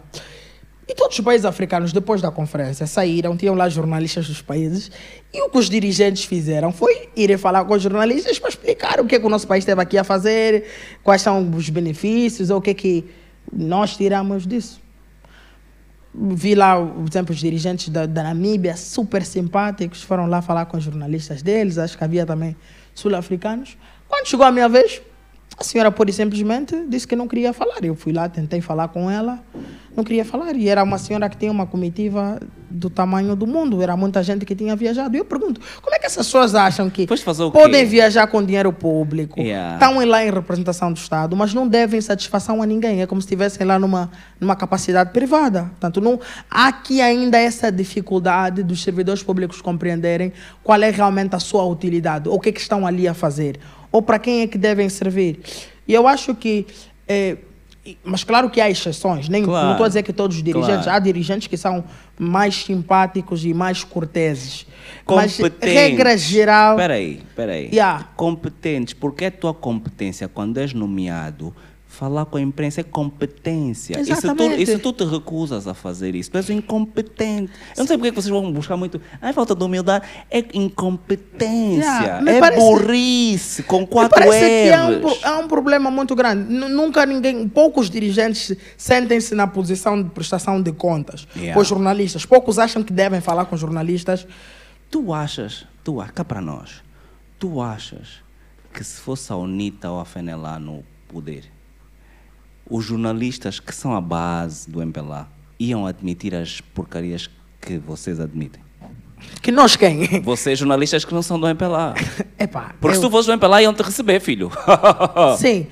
É, Tu não achas, sei. tu achas que. tu- a, minha, a minha questão é mesmo tipo. É, estás a ver aquela, aquela expectativa que se criou ah, das eleições, e não sei o Uhum. quê. A minha expectativa é de pensar se o MPLA ia aceitar a UNITA ou a FENELA lhe fazer gato-sapato como o MPLA nos faz. Não sei se dá para perceber ah, o contraste. Tens o, o MPLA na oposição, porque eles é que fazem isso tudo esses anos todos. Eles já criaram todo o sistema e os vícios. Então agora imagina outros no poder. Agora tu estás a ir lá para entrevistar. Tu achas que esse. é- é- é- Estás a saber qual é o cenário? Sim. Eu acho que esse, esse cenário é muito difícil de, de conceber Não na minha conseguimos, né? imaginação. Não eu não consigo. Portanto, eu acho que. Ninguém consegue conceber o, dia seguinte, né? A construção desse país Não- nos limita muito Ok. pensarmos nessas possibilidades Ok, ok. de serem diferentes. O que eu acho e o que, que- que eu tenho a certeza é que realmente quem for gestor ou quem estiver na posição de gestão isso vem associado ao cargo. Se tu estás numa posição de gestão, tu deves satisfação a alguém. Sobretudo quando for numa posição de gestão de um cargo público. Portanto, Yeah. Tu assume-se. Tu tens de entender que estás ao serviço de alguém, que, que, que aquele trabalho que estás a prestar eh, deve, deve, deve eh, surtir efeitos na vida Das pessoas. das pessoas ou, ou daquele setor eh, eh, que coordenas. E então eu acho que há ainda aqui uma, uma cultura muito problemática por parte dos, dos nossos dirigentes. Eu acho que é uma coisa que deve ser desconstruída do, do topo à base. Eu acho que muitos Não exemplos só funcionam cima, né? dessa. De cima para baixo. Só, só funciona. Eu acho que tem de haver uma maior abertura eh, dos altos dirigentes. Eu acho que esse presidente, por exemplo, inicialmente dava eh, sinais de que seria talvez um presidente mais aberto à imprensa, mas eu acho que depois veio, veio a, a se confirmar que não. Há muito, algum tempo que o presidente não, não, não, não, não dá entrevistas. Estes exercícios do presidente falar são importantes, porque realmente criam essa, essa, essa, essa cultura generalizada. Quando o presidente faz, os outros vão fazer, os outros vão seguir. E é tudo uma questão de, é tudo uma questão de, de, de, de cadeia. Não basta dizer, ah, comunicar mais e melhor, ou comunicar melhor. Qual é o slogan agora? Comunicar melhor, mais, ou uma coisa assim. Mas então, se calhar, tu estás a, estás a ver coisas que eu não estou a ver. Mas o, o presidente, qual é o exercício que ele está a fazer que. que- que- Não, eu estou a dizer, o que eu estou a dizer é o seguinte, é quando os exemplos vêm de cima, tem uma maior probabilidade de afetarem as outras camadas que Ok, seguem. ok. E que é muito mais fácil eles replicarem aquilo que eles veem a nível superior do que o contrário. Sim, sim. sim. E, e, e, e, claro que se eu tenho o Presidente da República a falar com mais frequência, o ministro fica sem saída, o secretário de Estado também fica sem saída. Ok, mas quando tu Eu dizes. posso exercer uma maior pressão sobre, sobre estas Sobre entidades. Sim, quando o presidente pode falar mais. Agora, quando se cria uma cultura de silêncio total, porque muitas vezes o, o, o que- eu sinto é que muitos dirigentes não falam porque têm medo de falar a coisa errada. Então, em vez de fazer o jogo de vou falar e vai correr mal, vou falar vai correr bem, prefiro não falar, corto logo. Portanto, há um receio, porque eles. Portanto, isso de dar entrevistas e de falar é também um exercício da avaliação. Porque eu posso falar uma coisa errada que alguém de cima não gosta e isso vai ter repercussões para mim. Espera aí, eu, eu- sei o que, é que estás a dizer, eu concordo. Mas aqui eu tenho uma pergunta que é: o que é que é errado? Porque assim, tu me nomeaste. E se tu me nomeaste, é porque eu sou a melhor pessoa para cumprir este setor. Não, é porque tu és uma Não, calma, boa calma. pessoa, para mim és um amigo. Aí, então, peraí, então, então estamos a discutir duas coisas diferentes. Porque Pois. aqui, aqui o cenário é, enquanto jornalista, enquanto cidadão, eu preciso que os meus órgãos me representem. E uma dessas eh, formas é ao falar conosco. Isso é uma coisa. Sim. Enquanto cidadão, eu exijo que a pessoa que vai fazer isso seja uma pessoa especialista na área. Sim. Se ele for especialista na área, ele tem que falar sobre a área dele, Pois. né? Sim, mas tu tens campos em que, às vezes, tu tens um bom técnico, como um servidor público, Ok? e que está disponível a prestar informações. Mas, Mas há o domínio político. Até que ponto é que uma informação técnica que eu vou prestar não vai ter repercussões políticas? Dredd, Dredd, tu- é só porque tu não vives cá. Tudo neste país é político. Exatamente. Não há aqui absolutamente Exatamente. nada que Exata- não tem repercussão Mas política. estás a concordar comigo. Por isso é que eu, enquanto gestor técnico, se eu for diretor eh, eh, provincial da saúde, eu não vou falar à toa para os órgãos de imprensa. Porque eu tenho que garantir, tenho de verificar que toda a informação que eu vou passar eh, para a imprensa está dentro da estratégia ou dentro daquilo que os superiores pensam. Tu não, tu não vais agora a um hospital, Muniz, um hospital geral de Luanda, como jornalista e pensas que vais entrevistar o diretor do, do Hospital Geral hoje. Não. O diretor tem que ligar para o ministério, tem que falar com a ministra. É, todas as entrevistas têm de ser aprovadas, porque tem de se fazer uma concentração. O que eles fazem é, há uma concertação interna daquilo que pode sair e aquilo que não pode. Bungle. Exato. Então, é todo um, é todo um processo. Por isso é que não é fácil se falar com E como é com que tu dirigentes. achas? E como é que tu achas que as nossas instituições são têm credibilidade? É suposto as nossas instituições terem credibilidade com este processo? Não, eu é acho que feito não. Eu acho que eu acho que tu não consegues ter transparência. Tu não consegues ter transparência, tu não consegues eh, ter o respeito eh, dos utentes, das pessoas, que as pessoas não confiam. Nós, aqui, no, o que nós vivemos aqui em relação às instituições públicas é uma grande crise de confiança. As pessoas não confiam. Por quê? Porque isso tudo volta para a questão, que é a grande questão política, eu acho, desse, dos nossos tempos, que é a questão das autarquias. Porque quando, isso que eu estou a falar da cadeia é tudo consequência Uhum. De de, nós termos um Ok. sistema centralizado. Ok.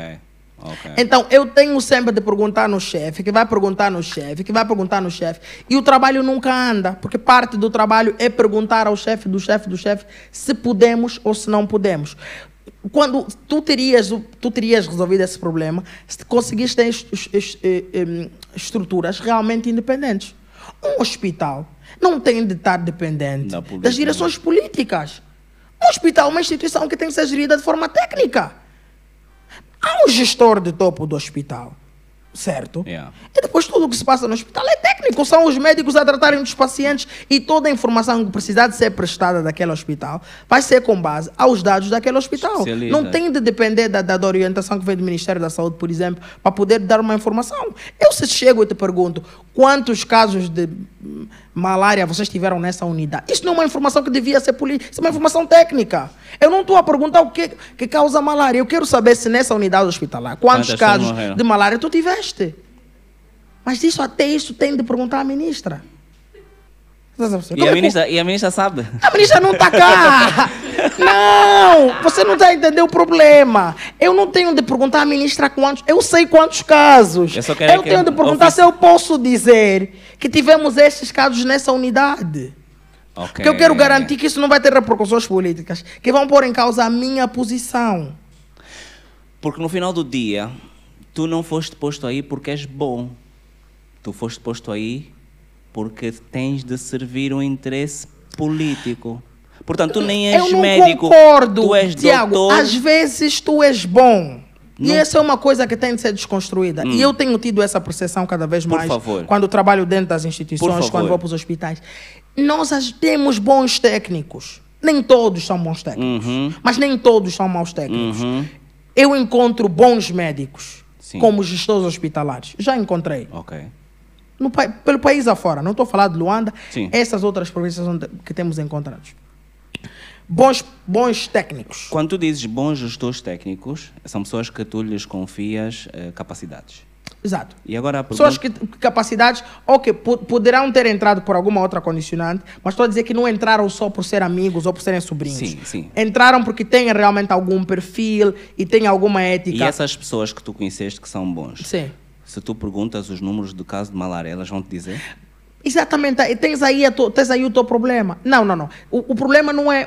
São duas, são duas questões, Duas eu questões. acho. Acho que uma é a questão técnica.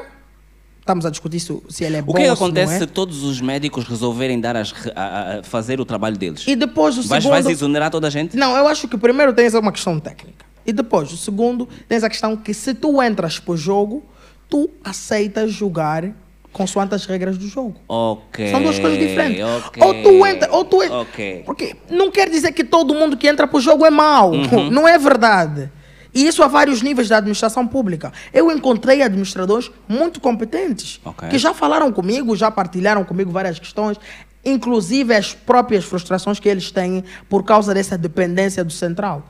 Há administradores que não conseguem fazer nada, por mais boas iniciativas que tenham, por mais boas ideias que tenham, porque tudo depende do central. E às vezes o central transcende o próprio governador da província. Há governadores que não Isso- podem fazer nada. Yeah. Por isso é que qual é, qual é a consequência disso? Tu tens o presidente aí para Willa e o governador da Willa está a dizer ao presidente que temos que resolver o problema dos agricultores. temos que baixar o preço dos bilhetes de passagem, porque são muito caros, temos que resolver o problema da estrada. Tudo tem de se pedir ao presidente. Porque até o próprio governador, que íamos entender que é uma pessoa que tem capacidade, não tem a competência, não consegue, ele transcende, tudo vem de Luanda. Mas se tu falas assim, e faz sentido, eu concordo. Ouçam contigo. esse discurso do governador da Willa. É humilhante que um governador tenha de, parece que está Pedinchar. pedinchar É. tudo e mais alguma coisa da província ao presidente da República. Eu me pergunto, qual é a competência que o senhor tem efetivamente para fazer o seu trabalho? Agora a pergunta que eu te faço é: se o governador não tem, e claramente que não terá, nós temos 18 províncias, vamos mandar para 300, mas para já são 18. Imagina que os 18 governadores falem com o presidente. O presidente é só um, coitadinho. Ele também não pode fazer tudo. Pois. E depois ainda tem que ir para a fazenda. E depois tem que viajar. Pois, mas essa é a consequência que tu tens de ter o país centralizado. O presidente, sempre que vai às, às outras províncias, faz essas sessões. E as reclamações dos, dos governadores são sempre as mesmas. Presidente da estrada, presidente do hospital, presidente, não temos ambulância. Como é que nós vamos parar o país? Para o governador pedir ambulâncias ao presidente. Onde é que está o Ministério da Saúde? Por que, que essas instituições não, não trabalham de forma mais próxima? É a consequência. Tem de haver autarquias. Temos de descentralizar o poder. Porque eu tive, no, tive, tive na Willa, em zonas onde há exploração hum, massiva, agressiva de, de, de- de recursos minerais e onde não se cumpre o que estabelece, por exemplo, o Código Mineiro.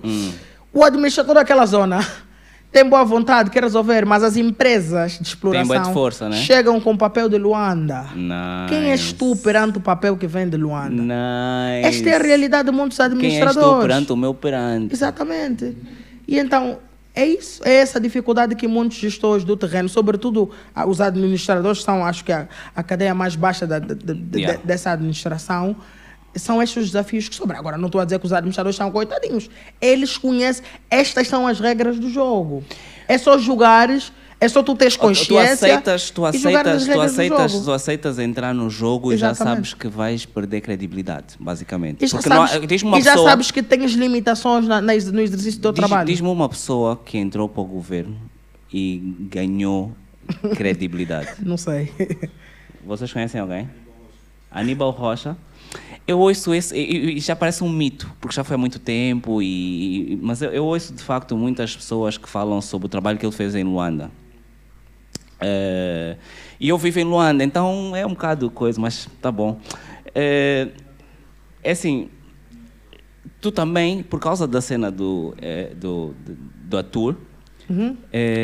tiveste um episódio interessante no avião Um avião. no, no aeroporto, portanto, atrasos por causa do os vo... Não, mas seu dia a dia. Eu sei, né? eu, eu sei. E a pergunta que eu te faço Seu é: dia a dia. nós, eh, se- vá, aparentemente fomos à Inglaterra Sim, para ver se abríamos a CNN Angola. sim, Aparentemente não conseguimos, mas conseguimos tirar uma foto. sim.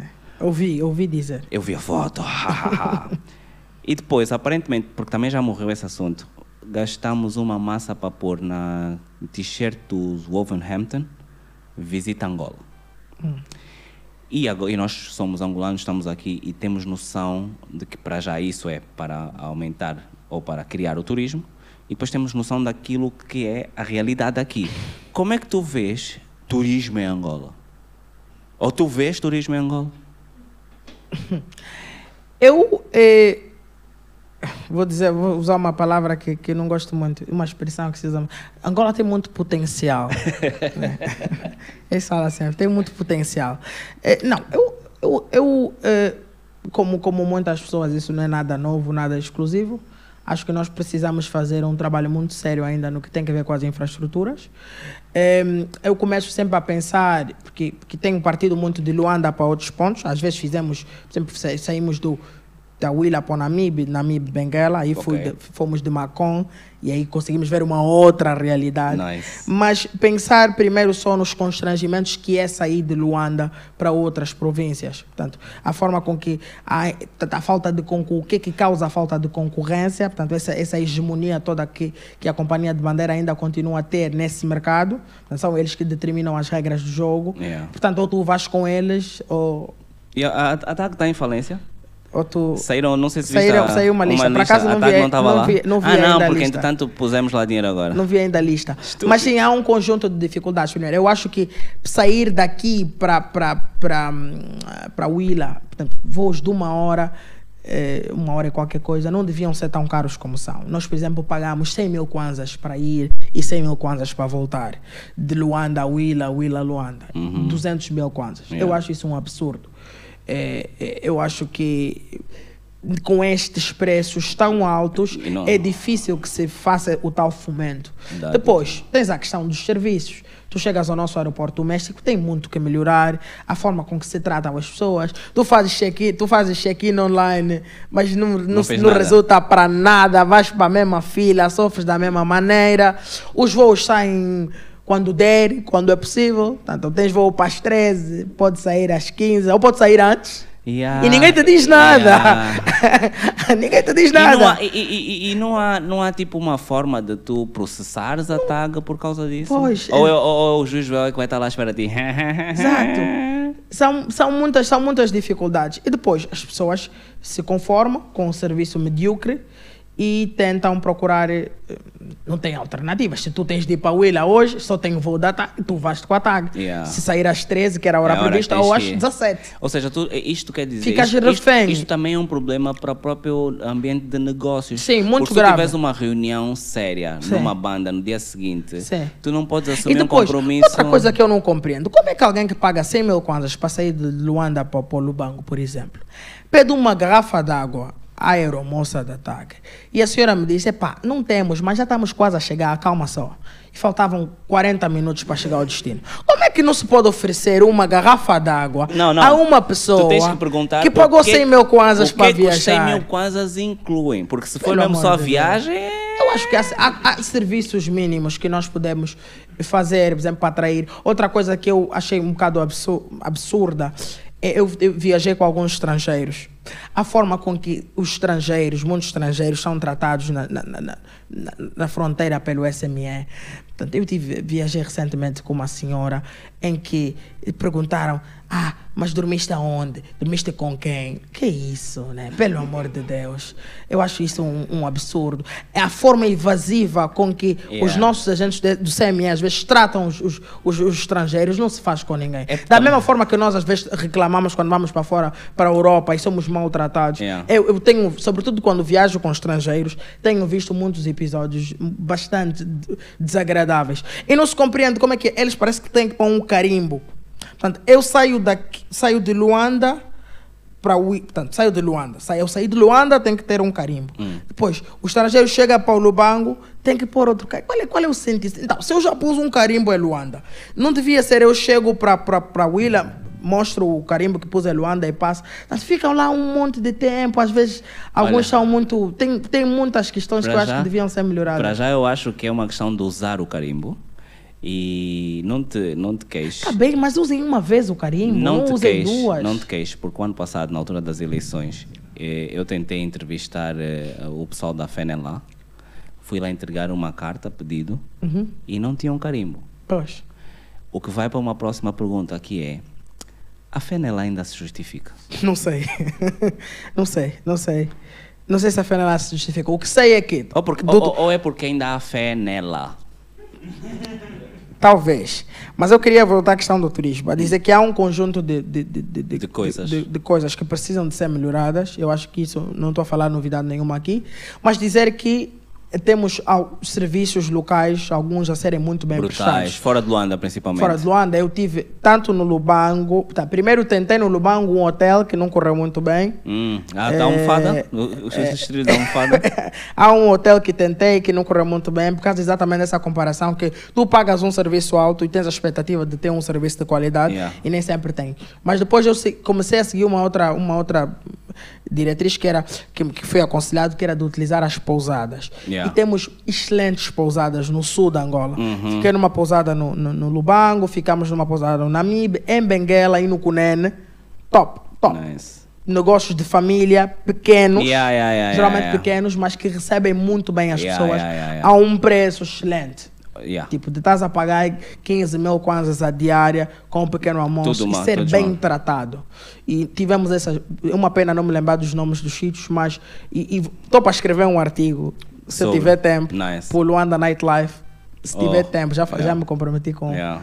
Com o Cláudio, mas talvez vou escrever, porque eu acho que isso é importante também ser dito. Temos também se não tiveres tempo, nós mandamos-te para a Inglaterra, tu ficas depressivo e E consigo escrever coisa. alguma coisa. Mas quero escrever sobre as pousadas do Sul, Nice. onde tive, porque tivemos, tive, tive, tive boas experiências. Ah, brutal, brutal, brutal. Mas lá embaixo, para eu, eu ainda vou, ainda vou descer. Um dia desses ainda vou. Tá, é top, top. Escapei. O Sul é muito bom. É, destituição do J-Lo. Achas que isso é uma. Eu conheço muita gente do MPLA que diz que é um não assunto. Uhum. Eu conheço, eu vi o mambo do. o- por acaso fiquei triste, mais ou menos. Ci- Ciúmes. O Tomás Bica disse que o Adalberto é o melhor humorista de Angola.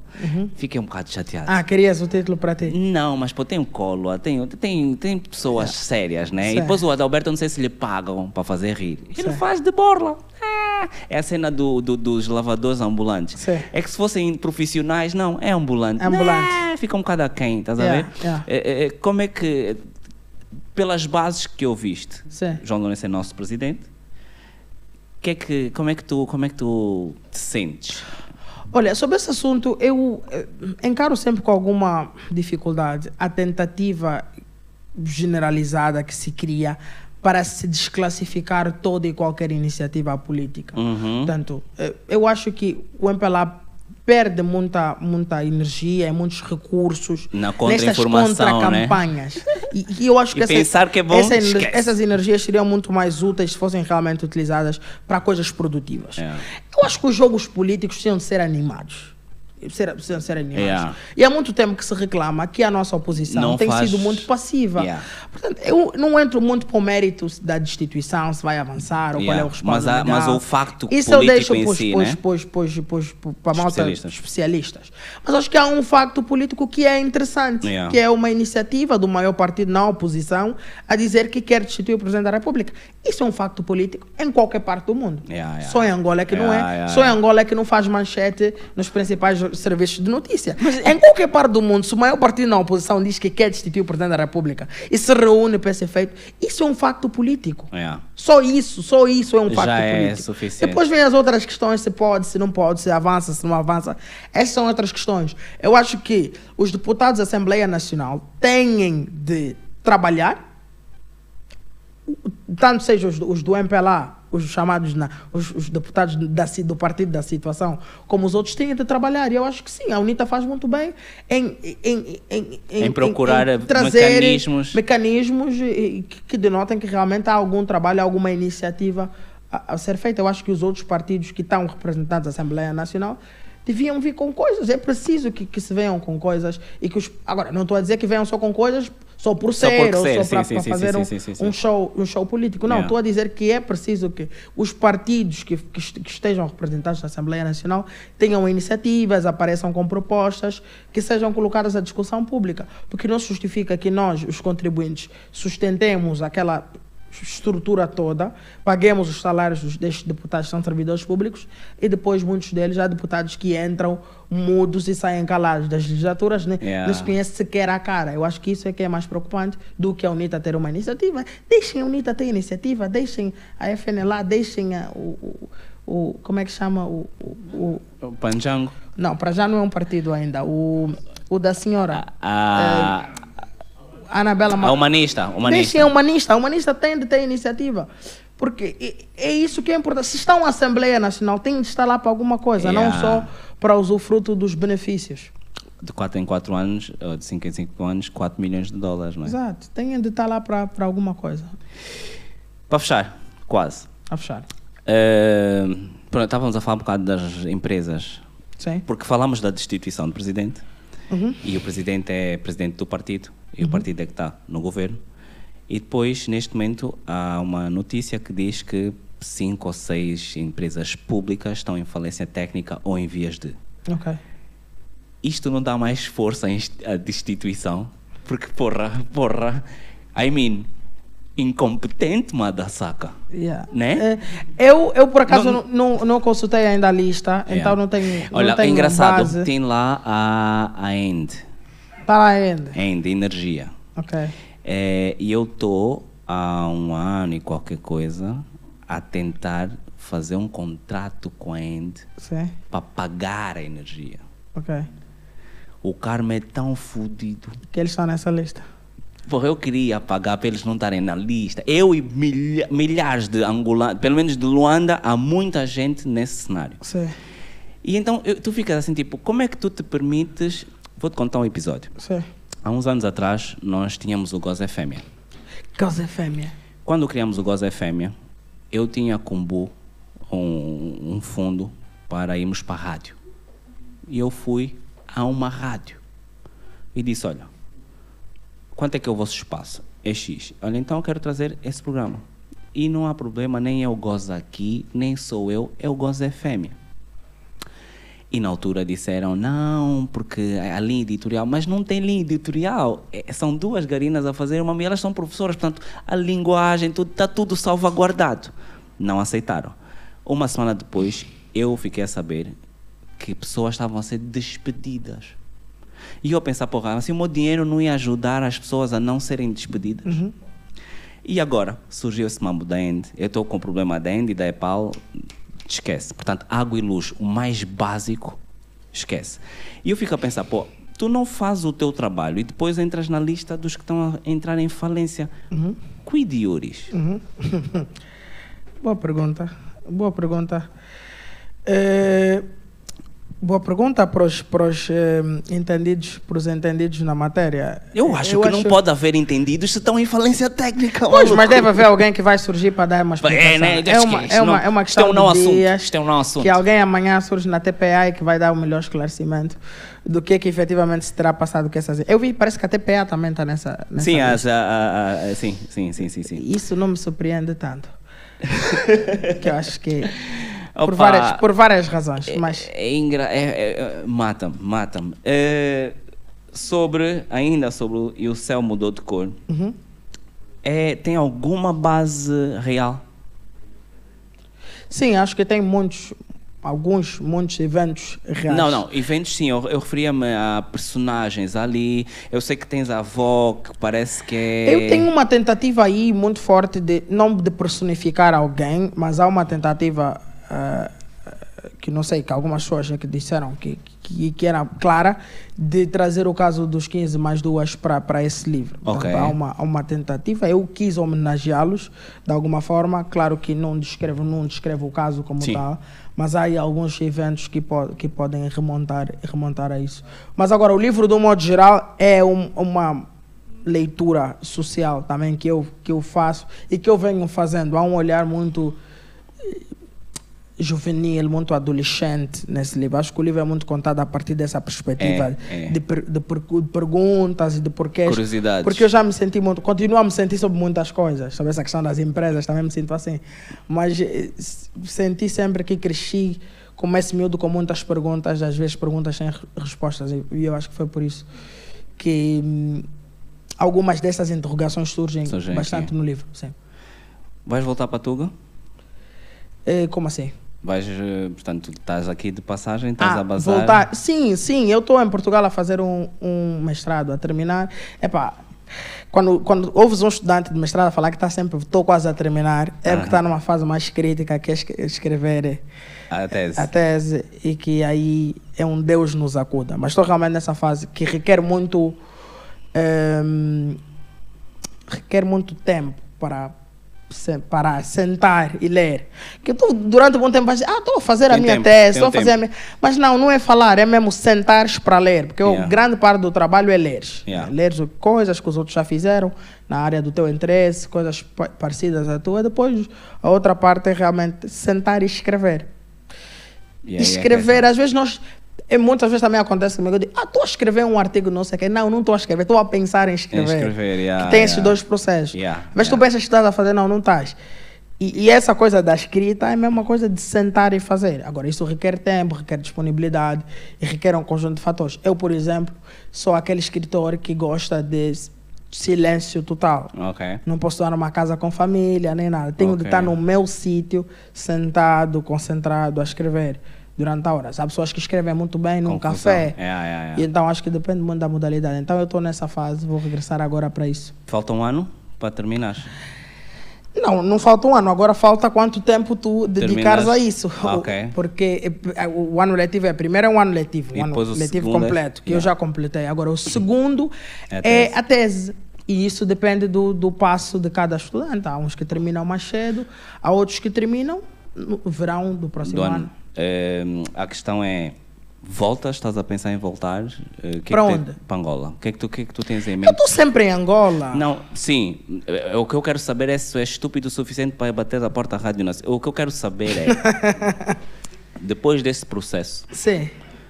tens, eh, queres, queres continuar nessa, nessa, eh, nessa posição mais livre, em que não, não, não tens um contrato de 24-7 com alguém e vais fazendo cenas ou...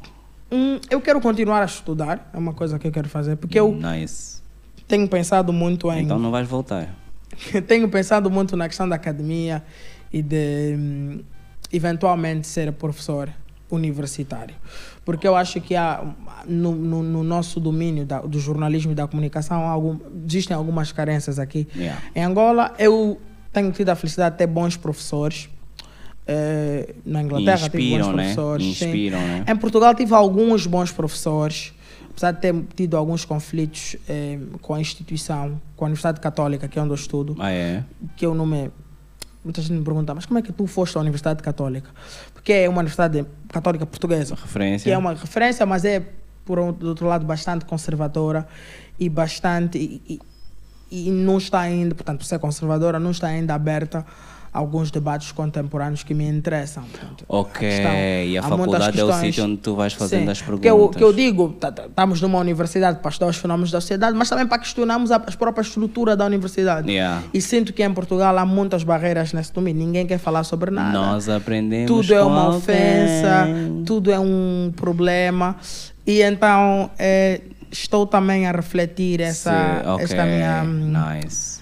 eh, experiência na Universidade Católica.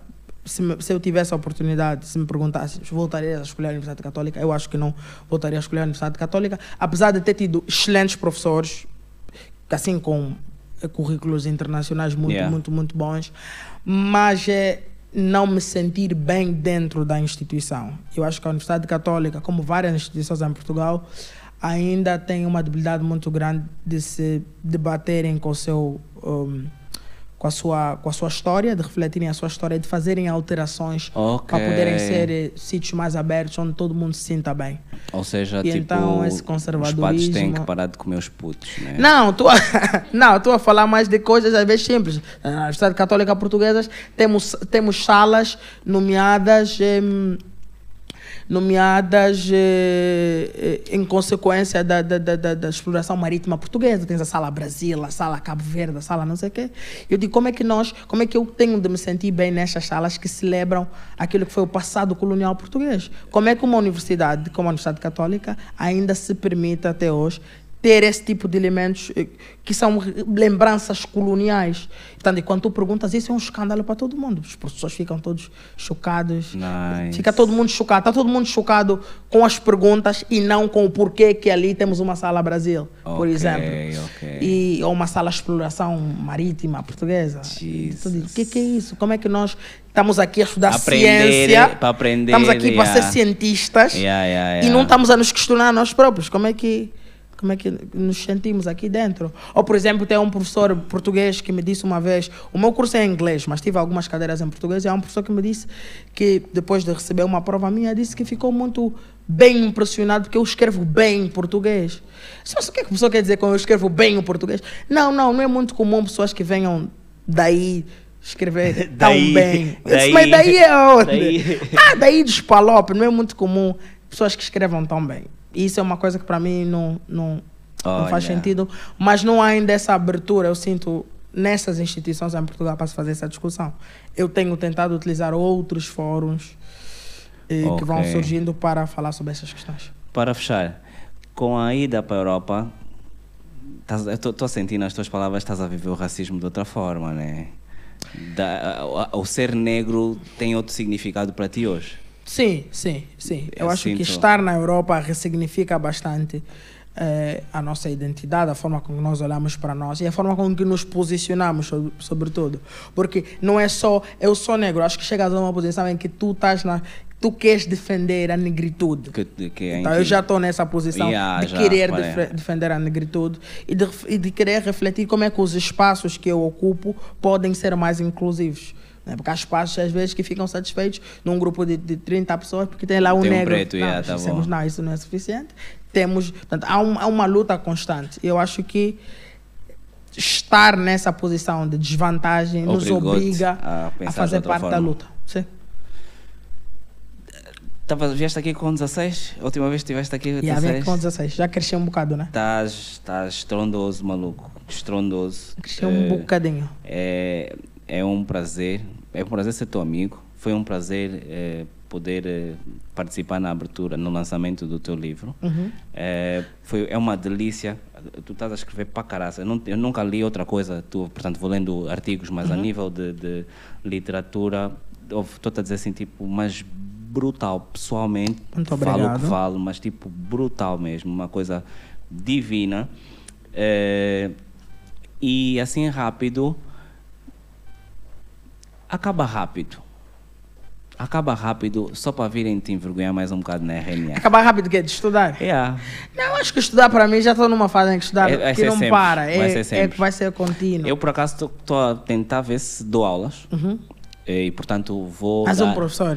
Vou- Não é para Precisamos. ser professor, mas eu, eu, eu quero ter a formação Ah, formação para para. professores. Yeah, vou, Ok. vou ver se faço isso, porque há alguns anos que acho que também posso Sim. partilhar algumas cenas, Sim. mas quero, quero fazer como deve ser. Então, assim é mais uma, mais uma inspiração. Portanto, estou a acumular, maluco. É, muito obrigado. Muito Uhum. Eu obrigado. que agradeço a ti e a todos que estão aqui mesmo. Yeah. a esta hora. Temos questões? Temos ali uma questão. Temos poucas questões. É. É bom, não temos muitas questões. Olha, já estás tipo, Casa da já estás tipo do MPLA. questões? Não, nós estamos no assunto. Boa noite, Israel. Boa noite. Boa noite. Hum, bem, eu gostava, na verdade, de ouvir a opinião que tens sobre, hum, sobre uma situação que eu vou expor. Uhum. Ah, isso entrando muito na questão que estavas a abordar, ou que abordaste sobre hum, negritude. Uhum. Descobrir eh, negritude. Nem vou entrar tanto em panafricanismo, né? mas o conceito de negritude. Uhum. Ah, que visão é que tu tens para um, o momento do Níger? Tunísia. Yeah. Uau. Momento, e, e nota, momento hum, não necessariamente para a questão do golpe de Estado. Sim. E se discutir se foi efetivamente golpe de Estado ou não. Sim. Mas ah, a posição, a postura que estão a ter diante da França, Estados Unidos e por aí fora. Era, era mais por aí. Ah, ok. Como é que. Ok, ok. Eh, É uma, eu acho que, como todos, também eh, tenho, tenho estou a acompanhar os eventos e estou a acompanhar com bastante interesse essa corrente que nasce eh, numa base bastante panafricanista e numa base bastante dizer que é uma oportunidade suprema que estamos a que estamos a ter de pôr o, o, o Ocidente no seu lugar, né? Porque no Níger houve muito essa, tem havido muito essa discussão sobre como é que, por exemplo, o papel da França lá no Níger e a exploração toda isso, e como é que isso nunca se revertiu para o povo. Re- Recentemente estava numa discussão em, em, com, com uns amigos em que falávamos também sobre, sobre esse caso no Níger, mas, um, mas um, de uma forma mais geral sobre a questão do, do- do- da influência do Ocidente em África, sobre Ok. quem é responsável pelo, pelo, pelos sabe. problemas da África, se somos nós os africanos ou são os europeus eh, do, do Ocidente. E eu acho que isso eh, traz efetivamente muito, um, um grande, um, um grande debate que não tem, na minha perspectiva, respostas tão absolutas. Eu continuo a achar que nós devemos ser os responsáveis dos nossos destinos e que somos nós os donos efetivos da casa, dos países, somos nós que devemos determinar as regras do jogo. E então eu acho que, claro, que os políticos, os países, todos esses países agem com bastante interesse, com, com seus interesses, com os interesses estratégicos que eles têm. África, como nós sabemos, é uma parte do mundo que é estratégica em, para todo mundo, por causa dos, dos recursos que temos. Agora, se a nossa condição é como é por causa do neocolonialismo, né, que é uma corrente que muita gente chama, ou por causa dos nossos dirigentes, acho que é um debate. Eu acho, eu penso que nós realmente devemos olhar para nós. E como é que, quando digo para nós, estou a dizer olhar para as nossas lideranças. Como é que as nossas lideranças permitem que aquilo, que, que contratos de 30 anos. É, que, um, que, estas, que estes poderes externos venham, explorem, se beneficiem e que, que a nossa condição continue, continue a mesma. Acho que os donos da casa é que determinam as regras. Por exemplo, vou dar um exemplo, é, que é, eu tive agora no CUNEN, que é, uma, que é uma província que, por causa da situação de seca que enfrenta, tem lá muitas ONGs no CUNEN. E no CUNEN eh, há uma carência muito grande da própria administração pública. Ou seja, encontrei situações em que a própria administração pública depende das ONGs para poder fazer o seu trabalho. Porque há sítios onde a nossa administração pública não consegue chegar porque não tem recursos, por exemplo, a Direção Municipal da Saúde não tem transporte, não tem carros, não tem meios. E às vezes para chegar num município muito distante depende do apoio do carro da ONG que está lá no terreno. As, e as ONGs estão para ser fechadas, né? É, não tem assim uma, uma Não estão para ser fechadas, estão para fazer uma revisão dos, hum. do estatuto das ONGs. Okay.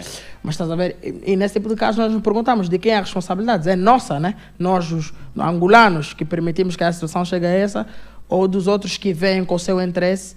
Porque uma coisa tem que ser clara. Eles Os, os países têm a sua agenda. Não, mas interesse temos todos. Eu acho que nós é que falhamos e não tivemos os nossos. Yeah, yeah, yeah. Acho que cada país tem o seu interesse, tem de ter o seu interesse uh, uh, bem definido. Uh, acho que é um que é um debate que é um debate longo. Agora que há essa que há essa essa não diria ingerência, que é essa presença massiva do, do, do, do Ocidente, que muitas vezes essa troca não é justa, eu acho que isso não precisa dizer. Eu acho que há uhum. muita injustiça né? em muitas trocas, não só no Níger, mas em várias partes da África, que se faz entre o Ocidente e a África. Agora, como é que nós, africanos, nos posicionamos em relação a isso?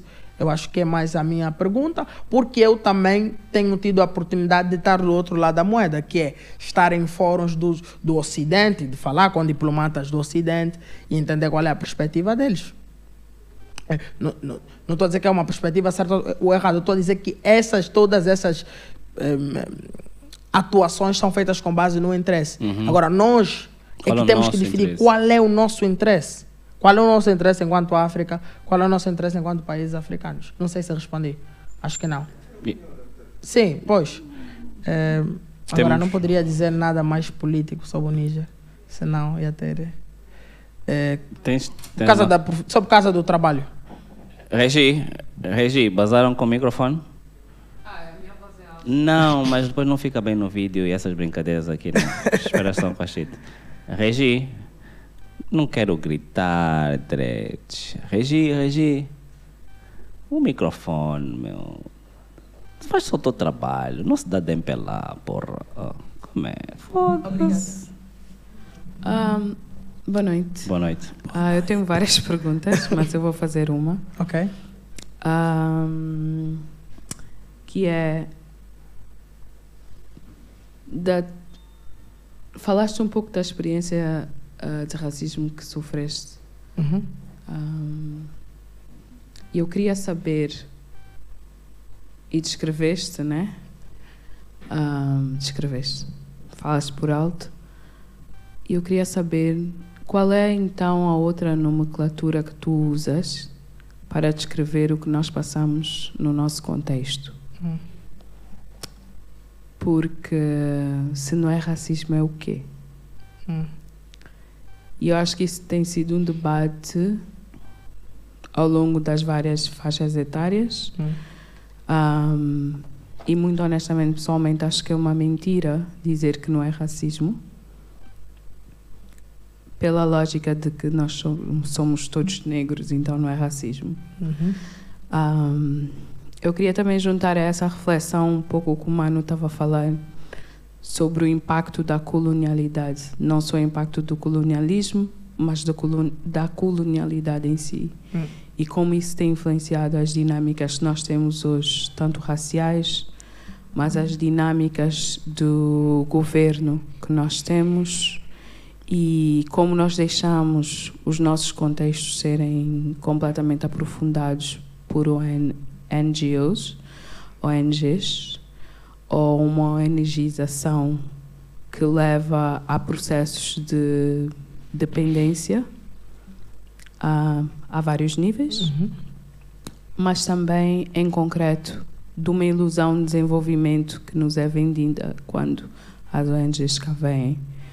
Então, eu queria que falasse um pouco de todas essas, se possível, de algumas dessas camadas de colonialidade que nós ah, enfrentamos hoje. Pois. Eu acho que essa é uma pergunta muito interessante, porque há algum tempo que eu tenho tentado eh, encontrar aqui em Angola um espaço em que possamos fazer essas discussões. Eu lembro para mim, nós já tivemos essa discussão uma vez no início da Rompe, o passado. Ano passado tivemos uma discussão parecida que também foi muito interessante, mas eu acho que são sempre muito reduzidos os espaços onde nós podemos falar, onde nós conseguimos ou temos a oportunidade de, por exemplo, falar sobre essa questão da raça aqui em Angola, ou a questão do colorismo, ou se é colorismo versus racismo, ou o que, que é, o que é que se passa. Mas eu em, tenho desenvolvido essa consciência há algum tempo que aqui em Angola nós também acho que e isso surge também um bocado lá de fora de ter essas experiências lá fora e depois querer começar a entender melhor como é que nós estamos distribuídos isso aqui em Angola é racismo ou não é isso ali é colorismo ou não é e como é que essa questão da raça impacta a vivência das pessoas, a experiência, a forma como as pessoas experienciam o mundo. E, e eu comecei a pensar assim em pontos de referência sobre, sobre essa questão. Em, é, sobre essa questão da cor aqui em Angola e um bocado em África e pensei, por exemplo, sobre como é que a cor eh, tem desempenhado ou desempenhou a dada altura ou, se, ou, será que desempenhou ou qual é o papel que tem que, que, que, que, que desempenhou no, no processo de consagração dos escritores angolanos. Porque eu não sei se te lembras, houve aqui uma vez que, que teve um Onjaki, uhum. a vez que teve aqui um Onjaki, nós também, eu também fiz essa pergunta, que era porque que eu entendo que há um denominador muito um denominador comum entre os os escritores angolanos mais consagrados, que é a raça, que grande parte dos escritores angolanos mais consagrados são mulatos ou são brancos. E eu não percebia o porquê. E depois, este ano, eu tive em Moçambique, me disseram que em Moçambique também é muito diferente, né? Uhum. O Minha Couto. E as pessoas perguntam por que, que demorou tanto tempo, por exemplo, para a Paulina Xiziana receber o Camões, quando ela é uma escritora que está aí há tanto tempo. E se privilegia sempre, eh, parece. Agora, não é dizer que escritores não sejam bons escritores, sim, claro sim, que não, sim. mas é entender por que, que os escritores, por exemplo, angolanos mais premiados e mais traduzidos, por que, que essas pessoas têm, toda essa, têm todas este denominador em comum? São todas pessoas mestiças ou ou brancas. E então, esta é uma, uma, é uma, essa é uma das coisas que lá fora me chamou muito a atenção e que me fez realmente é, é, começar a desenvolver um interesse sobre essa, sobre essa okay. matéria, sobre essa matéria e depois começar a refletir aqui como é que no nosso dia a dia está enraizado também uma estrutura que privilegia o tom de pele mais claro, como é que a própria, como é que próprios é, ditos populares sobre eh, vou fazer um filho com uma mulata para avançar a raça ou sobre eh, ela tem bom ventre porque o filho tem um cabelo mais Fio cabelo, cabelo.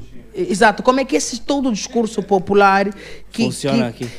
Que, tem espaço. que é enraizado há muito tempo, que eu acho que para mim está a dizer que é a colonialidade, né? Porque é diferente, o colonialismo é um processo que termina, mas depois que, quais são, que marcas são essas que, que ficam, ficam, que continuam a impactar a nossa vida até os dias de hoje. E nós aqui em Luanda, por exemplo, recebemos já algumas denúncias de pessoas a dizerem que foram tratadas de uma maneira menos agradável em determinados sítios, aqui na ilha, inclusive, acho que houve um caso do Ossi, alguns anos atrás, que era sobre isso, que no Café do Mar tinha tido um, um, um problema que ele tinha entendido que tinha eh, que ver com, com o seu, seu tom de pele, porque ele estava vestido de uma forma, disseram que não podia entrar enquanto que haviam pessoas brancas a serem tratadas. E eu próprio, aqui em Luanda, muitas vezes me senti de forma diferente, porque aqui em Luanda Luanda é esse mar de vários mundos, né? Sim. né?